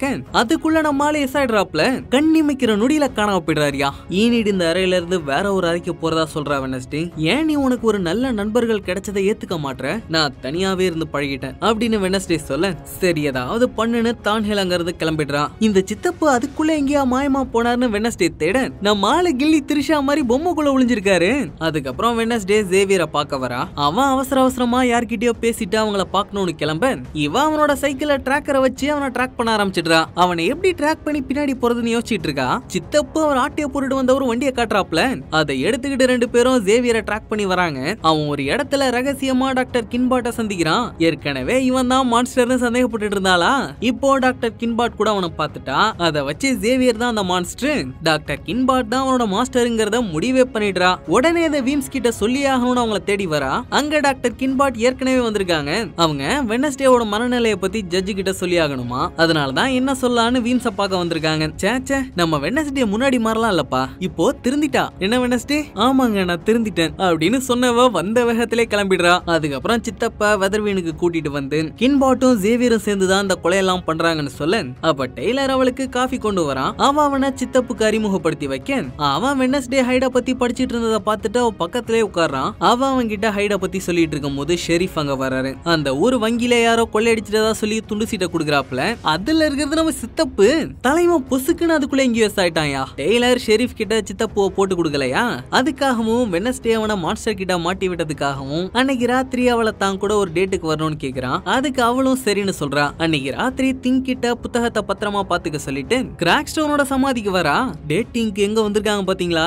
அங்க படம் பாக்குறதுக்கு டெய்லர் ஒரு செட்டப்பே பண்ணி வச்சிருக்காங்க. ரெண்டு பேரும் சேர்ந்து ஒரு படத்தை பார்த்துட்டு இருக்காங்க. அந்த நேரத்துல சில போலீஸ்காரங்களோட ஷெரீஃப் சித்தப்பு ஆட்டைய போட்டுட்டு வந்த வண்டியை கண்டுபிடிச்சு அவரு கண்டிப்பா இங்கதான் இருக்கணும்னு சமாதிக்கு வராப்ல. அங்க இதுங்க ரெண்டு உட்காந்து கடலை போட்டுட்டு இருக்குங்க. என்ன சொன்னாலும் இவங்க கேட்க போறது இல்லன்னு ஷெரீஃப் யூட்டன் அடிச்சிடுறாரு. படம் ஓட்டினது போதும்னு வென்னஸ்டேவும் அவளோட ரூமுக்கு வந்துடுறா. பார்த்தாங்க எல்லாமே களைஞ்சு கிடக்கு திங்க யாரோ கத்தியால சுருவிட்டு போயிருக்காங்க. உடனே பதறி அடிச்சுக்கிட்டு அவனை தூக்கிக்கிட்டு சித்தப்பு கிட்ட வரா. அவர் அவனுக்கு ஷாக் கொடுத்து எழுப்ப பாக்குறாரு பய அசைய மாட்டான் என்ன விட்டு போயிடாதரா தின்னு வென்னஸ்டே அழ ஆரம்பிச்சிடுறாங்க. சித்தப்பு மறுபடியும் ஷாக் கொடுக்க ஒரு வழியா பய எந்திரிச்சிடுறான். யாருடா இத பண்ணான்னு கேக்குறா? அது அவனுக்கு தெரியல. நீ கவலைப்படாதடா திங். இத செஞ்சது யாரா இருந்தாலும் அவங்கள செஞ்சு விடுறனாலேன்னு மட்டும் பாரு. அப்படின்னு வெனஸ்டே சொல்ல என் மேல உனக்கு அவ்வளவு பாசமான அவனும் அவ கைய பிடிச்சிக்கிறான். வெனஸ்டே சித்தப்பு கிட்ட போலீஸ் அவரை தேடுற விஷயத்த சொல்றா. அவரும் காலங்காத்தாலே கிளம்பிடுறதா சொல்றாரு. அதுக்கப்புறம் வீம்ஸ் கிட்ட வந்து யாரோ ஃபாக்னரோட டைரியை தூக்கிட்டு போயிட்டாங்கன்னு சொல்றா. அந்த புத்தகத்தை பத்தி வீம்ஸுக்கும் தெரிஞ்சிருக்கு. ஹைட் தான் ஒருத்தரை கொல்றோன்னு தெரியாம கொள்ளுமா இல்ல தெரிஞ்சே கொள்ளுமான்னு கண்டுபிடிக்கிறதுக்குள்ளேயே ஃபாக்னர் அவர் ஆராய்ச்சி பண்ணிட்டு இருந்த ஹைட் கொன்னுட்டான். அதுக்கப்புறம் ஹைடை பத்தி யாராலையுமே ஆராய்ச்சி பண்ண முடியாததால இனி ஒரு ஹைட் நவர் மோர்க்கே வரக்கூடாதுன்னு முப்பது வருஷத்துக்கு முன்னாடியே தடை பண்ணிட்டாங்களாம். இந்த தொடர் கொலைகள் எல்லாம் பண்ணிட்டு இருக்கிற மான்ஸ்டர் ஒரு ஹைடுன்னு ஷெரீஃப் கிட்ட சொன்னா அது நவர் மோர்க்கே பிரச்சனை ஆயிடும் தான் வீம்ஸ் அவர்கிட்ட சொல்லாம இருந்திருக்காங்க. அடுத்த நாள் காலையில பியாங்கா வென்னஸ்டேவா ரகசிய அறிக்கை கூட்டிட்டு வரா. அங்க இருந்த லூக்கஸ் அவகிட்ட ஒரு ரிப்போர்ட்டை கொடுக்குறான். அவனோட அப்பா சாகறதுக்கு முன்னாடி லாரல் கேட்ஸ பத்தி விசாரிச்சுக்கிட்டு இருந்தாருன்னும் அவ தண்ணியில மூழ்கி செத்துட்டதா போலீஸ் ரிப்போர்ட் கொடுத்திருந்தாலும் அவளோட உடல் போலீஸ்க்கு கடைசி வரைக்கும் கிடைக்கவே இல்லைன்னு சொல்றான். அதோட தெரசாங்கிற பேர்ல யாரோ ஒருத்தர் கேட்ஸ் மேன்ஷனை வாங்கி மறுபடியும் ஜெரிகோக்கு வந்திருக்காங்கன்னு அந்த ரிப்போர்ட்ல போட்டிருக்கு. அதை பார்த்தவ டாக்டர் கின்பாட் தான் தான் குடும்பத்தோட சாவுக்கு பழிவாங்க வந்திருக்காங்கன்னு முடிவே பண்ணிடுறா. நேரா அவங்கள பார்க்க வந்தவ அவங்க கிட்ட அந்த பாட்டு பூட்டியை கொடுத்து நீங்க தானே ஹாஸ்பிட்டல்ல யூஜினை பாத்துக்கிற சாக்குல மேயற கொன்னீங்க நீங்க யூஜினுக்கு எடுத்துட்டு வந்த அதே பூவை நான் லாரலோட அறையில பார்த்தேன். நீங்க தானே அந்த லாரல் கேட்ஸ்? நீங்க தான் ஜேவியரை வச்சு இந்த தொடர் கொலைகள்லாம் பண்றீங்கன்னு எனக்கு நல்லாவே தெரியும். அப்படின்னு அடுக்கடுக்கா குற்றச்சாட்டுகளை வைக்கிறா. என்னடி லூசு மாதிரி பேசுற? ஜேவியர் பொதுவா வரதுக்கு வெக்கப்படுறான்னு அவனுக்கு தனியா கவுன்சிலிங் கொடுத்துட்டு இருந்தாண்டி இல்ல உனக்கு முத்திருச்சு. முதல்ல உன்னை ஒரு நல்ல மனநல காப்பகமா பார்த்து சேர்த்து உண்ணும். ஹே மழுப்பாதலாரல் நீ நல்லா வசமா மாட்டிக்கிட்ட. அப்படின்னு சொல்லிட்டு போறா. உடனே அவங்க வீம்ஸுக்கு கால் பண்ணி இந்த விஷயத்த பத்தி சொல்லிட்டு இருக்காங்க. அப்போ பாத்ரூம்ல ஏதோ சத்தம் கேக்குது. திறந்து பார்த்தா அங்க வந்த மான்ஸ்டர் அவங்களையும் தாக்கிடுது. அவங்கள மருத்துவமனைக்கு தூக்கிட்டு வந்து சிகிச்சை கொடுத்து பாக்குறாங்க. ஆனாலும் டாக்டர் கின்பாட் இறந்துடுறாங்க. இது எல்லாத்துக்கும் இப்பயே ஒரு முடிவு கட்டணும்னு சொல்லிட்டு நேரா வெனஸ்டே ஜேவியரோட இடத்துக்கு வரா. அங்க அவன் கின்பாட்ட மான்ஸ்டர் கிழிச்சு போட்டா மாதிரி வரைஞ்சு வச்சிருக்கான். அது மட்டும் இல்லாம யூஜினோட பாட்டோட கண்ணாடி வெனஸ்டேவோட புகைப்படங்கள் கிங் பாட்டோட நெக்லஸ்னு ஏகப்பட்ட ஆதாரம் இருக்கு. இதெல்லாத்தையும் காட்டிட்டு வெனஸ்டே ஷெரீஃப் உள்ளார வர சொல்ல உள்ள வந்த போலீஸ் அவனை கைது பண்ணிடுறாங்க. அவன் நான் இதை பண்ணலன்னு கதறிக்கிட்டே போறான். அதுக்கப்புறம் வெனஸ்டே திரும்ப அவளோட அறைக்கே வரா. ஈனிட் திரும்பவும் அங்கேயே வந்துடுறா. ஒரு நாள் தான்ப்பா நான் தரைய விட்டுட்டு போனேன் அதுக்குள்ளே திங்க பாடலேத்த பாத்துட்டானுங்க அதான் திரும்பவும் வந்துட்டேன் அப்படின்னு ஈனிட் சொல்றா. அடுத்து வெனஸ்டே வெதர்வீனுக்கு வரா. சேவியரை கைது பண்ணது ரொம்ப கஷ்டமா இருக்குன்னு டெய்லர் சொல்ல அதெல்லாம் ஒன்னும் பிரச்சனை இல்ல. ஒரு வழியா இப்ப எல்லா பிரச்சனையும் முடிஞ்சிருச்சு. இனி வாழ்க்கையில அடுத்த கட்டத்தை பத்தி யோசிக்க வேண்டியதுதான் அப்படின்னு சொல்லிக்கிட்டே வெனஸ்டே டெய்லர் நெருங்குறா உடனே அவளுக்கு விஷன் வருது. அதுல அந்த மான்ஸ்டர் கின்பாட்டை கொள்றதும் அந்த மான்ஸ்டரே டெய்லர் தாங்கிறதும் அவளுக்கு தெரிஞ்சிடுது. ஒரு கொலகாரணியா வாழ்க்கையிலேயே முதல் முதலா காதலிச்சோம் அப்படின்னு நினைச்சுக்கிட்டு வெனஸ்டே அங்கிருந்து தெரிச்சு ஓடிடுறா. அடுத்த நாள் ராத்திரி அவனை தனியா வர சொல்லி நீ தான் அந்த ஹைட்னு எனக்கு தெரிஞ்சிருச்சுன்னு சொல்றா. அவ கூடவே நைட் ஷேட் ஆளுங்களும் வந்திருக்காங்க. நீ எங்க கூட வர போறேன்னு பியாங்கா சொல்ல அவன் அவளோட பேச்சுக்கு மயங்கிடுறான். மயக்கம் தெளிஞ்சு பார்க்கும் போது அவனை ஜேவியரோட ஷெட்ல கட்டி போட்டு வச்சிருக்காங்க. ரேவன் அப்போ பார்த்துக்கிட்டு இருந்த புகைப்படத்தை காட்டி இதுதான் உன் அம்மா இல்ல அவங்களும் ஒரு ஹைட் முப்பது வருஷத்துக்கு முன்னாடி ஹைட் நெவர்மோருக்கு வரக்கூடாதுன்னு தடை பண்ணதுக்கு அப்புறம் உன் அப்பா அவங்கள காதலிச்சு கல்யாணம் பண்ணிருக்காரு உங்க அம்மா மாதிரியே நீ ஒரு ஹைட் தானடா? அப்படின்னு அவனை உருமாற வைக்க அவன் அவனுக்கு ஷாக் கொடுக்குறா. அத பார்த்த மத்த எல்லாத்துக்கும் அள்ளு விட்டுருது. ஐயோ நாங்க அந்த குற்றத்துக்குலாம் துணை போக மாட்டோம். ஆள விடுமா சாமி? அப்படின்னு எல்லாம் தெரிச்சிடுதுங்க அதோட வீம்ஸ் கிட்டயும் வந்து போட்டு கொடுத்துருதுங்க. உடனே வீம்ஸ் இந்த விஷயத்த ஷெரீஃப் கிட்ட சொல்லிடுறாங்க. அவர் ஆளுங்களோட அங்க வந்து வெனஸ்டேவை கைது பண்ணி ஸ்டேஷனுக்கு கூட்டிட்டு வந்துடுறாரு. அங்க அவ எவ்வளவோ டெய்லர் தான் நிஜமான ஹைடுன்னு சொல்றா. அவரும் வீம்ஸ் நம்பவே மாட்றாங்க. சேவியரை பிடிக்க உதவுனதால போனா போதுன்னு சொல்லி ஷெரீஃப் அவளை விட்டுடுறாரு. அவ ஸ்டேஷன்ல இருந்து கிளம்புறப்போ டெய்லர் அவளை கூப்பிடுறான். அது வரைக்கும் அம்பி மாதிரி இருந்தவன் டப்புன்னு அன்னியன் மாதிரி மாதிரி அவகிட்ட பேசுறான். இந்த பய தெரிஞ்சுதாங்க எல்லாத்தையுமே பண்ணிருக்கான் அதோட அது எல்லாத்தையுமே ரசிச்சு ருசிச்சு பண்ணானா. அது எல்லாத்தையும் விட இன்னும் கொடூரமானதெல்லாம் காத்துட்டு இருக்குன்னு வேற சொல்லிட்டு போறான். வெனஸ்டே இது எல்லாத்தையும் வீம்ஸ் கிட்ட வந்து சொல்லி டெய்லர் தான் ஜேவியரோட ஷெட்ல ஆதாரத்தை வச்சு அவனை மாட்டி விட்டுருக்கான்னு சொல்ல. வீம்ஸ் அதை நம்பவே மாட்றாங்க. அதோட பொட்டி படுக்கையெல்லாம் கட்டிக்கிட்டு வெனஸ்டேவை ஊட்ட பார்க்க கிளம்ப சொல்லிடுறாங்க. அதுக்கப்புறம் ஜேவியரை பார்க்க வந்தவ அவங்கிட்ட நடந்தது எல்லாத்தையும் சொல்லிட்டு அவன் புதுசா ஏதாவது வரைஞ்சானான்னு கேக்குறா. ஏன்னா அதை வச்சு அடுத்து என்ன நடக்க போகுதுன்னு கண்டுபிடிக்கலாம்ல? ஏண்டி நான் அந்த மான்ஸ்டர் இல்லைன்னு அவ்வளோ கத்தி கதறி என்ன தூக்கி கொண்டாந்து உள்ளார வச்சுட்டு இப்ப என்கிட்டயே வந்து உதவி கேக்குறியா? அப்படின்னு நல்லா கழுவி ஊத்தி பத்தி விட்டுடுறான். அடுத்த நாள் காலையில வெனஸ்டே பொட்டி படுக்கையெல்லாம் கட்டி கட்டிக்கிட்டு இருக்கா ஈனீட அவ போறத நினைச்சு ரொம்ப வருத்தப்படுறா. வெனஸ்டே அவகிட்ட ரோவன் கொடுத்த படத்தை காட்டி நான் இங்க இல்லனா இது நடக்காதுன்னு சொல்றா. அப்ப ஈனேட் யூஜின் கண் முடிச்சிட்டதா சொல்றா. சரி நாம கிளம்பலாமான்னு திங் கேக்குறான். நான் உன்னை ரொம்ப மிஸ் பண்ணுவேன்டா திங்னு ஈனிட் அவனுக்கு விடை கொடுக்குறா. அதோட வெனஸ்டேவை கட்டி பிடிச்சி விடை கொடுக்கலான்னு பாக்குறா. ஆனா அவளுக்கு தான் கட்டிப்பிடி வைத்தியெல்லாம் ஒத்துக்காதே. அதனால போயிட்டு வான்னு வாயாலே சொல்லி அனுப்பிடுறாப்பா. வெனஸ்டே கீழே வரும்போது பியாங்காவை கிட்ட உன்னை ஸ்கூலை விட்டே அனுப்புவாங்கன்னு நினைச்சு பார்க்கலான்னு சொல்லிட்டு போறா. தான் ஹில் அவளுக்கு ஒரு செடியை பரிசா கொடுக்க வீம்ஸ் அவங்களே அவளை கொண்டாந்து ட்ரெயின் ஸ்டேஷன்ல விடுறதா சொல்றாங்க. ஸ்டேஷனுக்கு போற வழியில யூஜினை பார்க்க அவளை கூட்டிட்டு வராங்க. வெனஸ்டே யூஜின் கிட்ட நான் அன்னைக்கு உன் கூட வந்திருக்கணும்னு சொல்றான் அதெல்லாம் பரவாயில்லப்பா. அன்னைக்கு கருப்பு நிற சூட்டும் சிகப்பு நிற பூட்ஸும் போட்டுக்கிட்டு யாரோ போனது மட்டும்தான்ப்பா எனக்கு ஞாபகம் இருக்கு. மத்த எதுவுமே ஞாபகம் இல்ல. அப்படின்னு யூஜின் சொல்றான். உடனே வெனஸ்டேக்கு அந்த லாரல் யாருங்கிறது தெரிஞ்சிடுது. இவன் நினைச்ச மாதிரி அது டாக்டர் கின்பாட் இல்லங்க. அது அந்த ஊமக்கொட்டான் தான்ஹில். தான்ஹில் அவரோட லேப்ல நைட் ஷேட் விஷத்தை தயார் பண்ணி அதை சிறஞ்சில ஏத்திட்டு இருக்கா. அப்ப அங்க டெய்லரை கூட்டிட்டு வந்த வெனஸ்டே நீ கையும் களவுமா மாட்டிக்கிட்ட லாரல்னு சொல்ல? அவ நைஸா அந்த சிரஞ்ச பாக்கெட்ல போட்டுக்கிறா. இவளோட அப்பா ஒடுக்கப்பட்டவங்களை கண்காணிச்சதால டெய்லரோட அம்மாவை பத்தி இவளுக்கு தெரிஞ்சிருக்கு. அதனால டெய்லரும் ஒரு ஹைடா இருப்பான்னு நினைச்சவ செடியில இருந்து எடுத்த கெமிக்கல்ஸ வச்சு டெய்லரை மயக்கிருக்கா அதுக்கப்புறம் குகையில அவனை கட்டி போட்டு ஹைடா மாத்திருக்கா டெய்லர் டாக்டர் கின்பாட் கிட்ட செஷனுக்கு போனப்போ அவங்களுக்கு இது தெரிய வந்திருக்கு. அதனாலதான் ஹைடா வச்சு அவங்களையும் கொண்டு இருக்கா. ஆமா டே அதனால தான். அது என்ன அப்போ? டே டெய்லர் கண்ணா முதல்ல இவளை போட்டு தள்ளுடா. அப்படின்னு சொல்றா. அப்ப டெய்லர் வீன்ஸா மாறிடுறாங்க. இவ ஏற்கனவே வெனஸ்டேவை கொல்ல சொல்லி டெய்லரை ட்ரெயின் ஸ்டேஷனுக்கு அனுப்பி வச்சிருக்காங்க. ஆனா அதை யோசிக்காம வெனஸ்டேவோட வலையில விழுந்துட்டா. ஒழுங்கா சரணடைஞ்சிட்டு தான் ஹெல்னு வீம் சொல்றாங்க. நான் லாரல் டி அப்படின்னு நைட் ஷேட் விஷத்தை அவங்க கழுத்திலே இறக்கிடுறா. வீம்ஸ் வாயில நுர வந்து செத்து போறாங்க. அவங்கள பார்த்து வெனஸ்டே கதறிக்கிட்டு இருக்கு. லாரல் அவ தலையிலே செம்மட்டையால அடிச்சு மட்டையாக்கிடுறா இது எல்லாத்தையும் ஓரமா ஒளிஞ்சு நின்று நம்ம திங்க் பாத்துக்கிட்டு இருக்கான். இங்க யூனிட்க்கு கால் பண்ண யூஜின் வீம்ஸும் வெனஸ்டேவும் தான்ஹெல் தான் கெட்டவங்கன்னு கண்டுபிடிச்சு அவங்கள பார்க்க போயிருக்கிறதா சொல்ல? அவளும் ஏஜாக்ஸ கூட்டிட்டு போய் அவங்களுக்கு என்னாச்சுன்னு பாக்குறதா சொல்றா? அப்ப பதறி அடிச்சுக்கிட்டு ஓடி வந்த திங் யூனிட் கிட்ட எல்லாத்தையும் சொல்றான். லாரல் வெனஸ்டேவ கிராக்ஸ்டோனோட சமாதிக்கு தூக்கிட்டு போயிட்டதா சொல்லி நைட் ஷேட்ஸோட உதவி வேணும்னு சொல்ல. அப்படின்னா யாருன்னு கேக்குறா? அவன் ஏஜாக்ஸ கை காட்டுறான். இவளுக்கு இப்பதான்ப்பா இப்படி ஒரு ரகசிய கூட்டமைப்பு இருக்குன்னே தெரியுது. இதை ஏன்டா என்கிட்ட சொல்லல? ஏன்னா அது ரகசிய கூட்டமைப்புமா? இப்படி இவங்க பேசிட்டு இருந்ததை கேட்ட யூஜின் என்னோட நண்பர்களுக்கு உதவி தேவன் கிளம்புறான். ஏன்டா உனக்கு இன்னும் உடம்பே முழுசா சரியாவல எங்கடா போறேன்னு அவங்க அம்மா தடுக்க? எனக்குன்னு இருக்கிற நண்பர்கள் அவங்க தான் சொல்லி வீரனட போட்டு கிளம்புறான். இங்க கிராக் ஸ்டோன் சமாதியில வெனஸ்டேவை கட்டி போட்டு வச்சிருக்காங்க. வெனஸ்டேவும் மயக்கத்துல இருந்து கண் முழிக்கிறா. கொஞ்ச நேரத்துல என்னைய ஏமாத்திட்டா பாரு.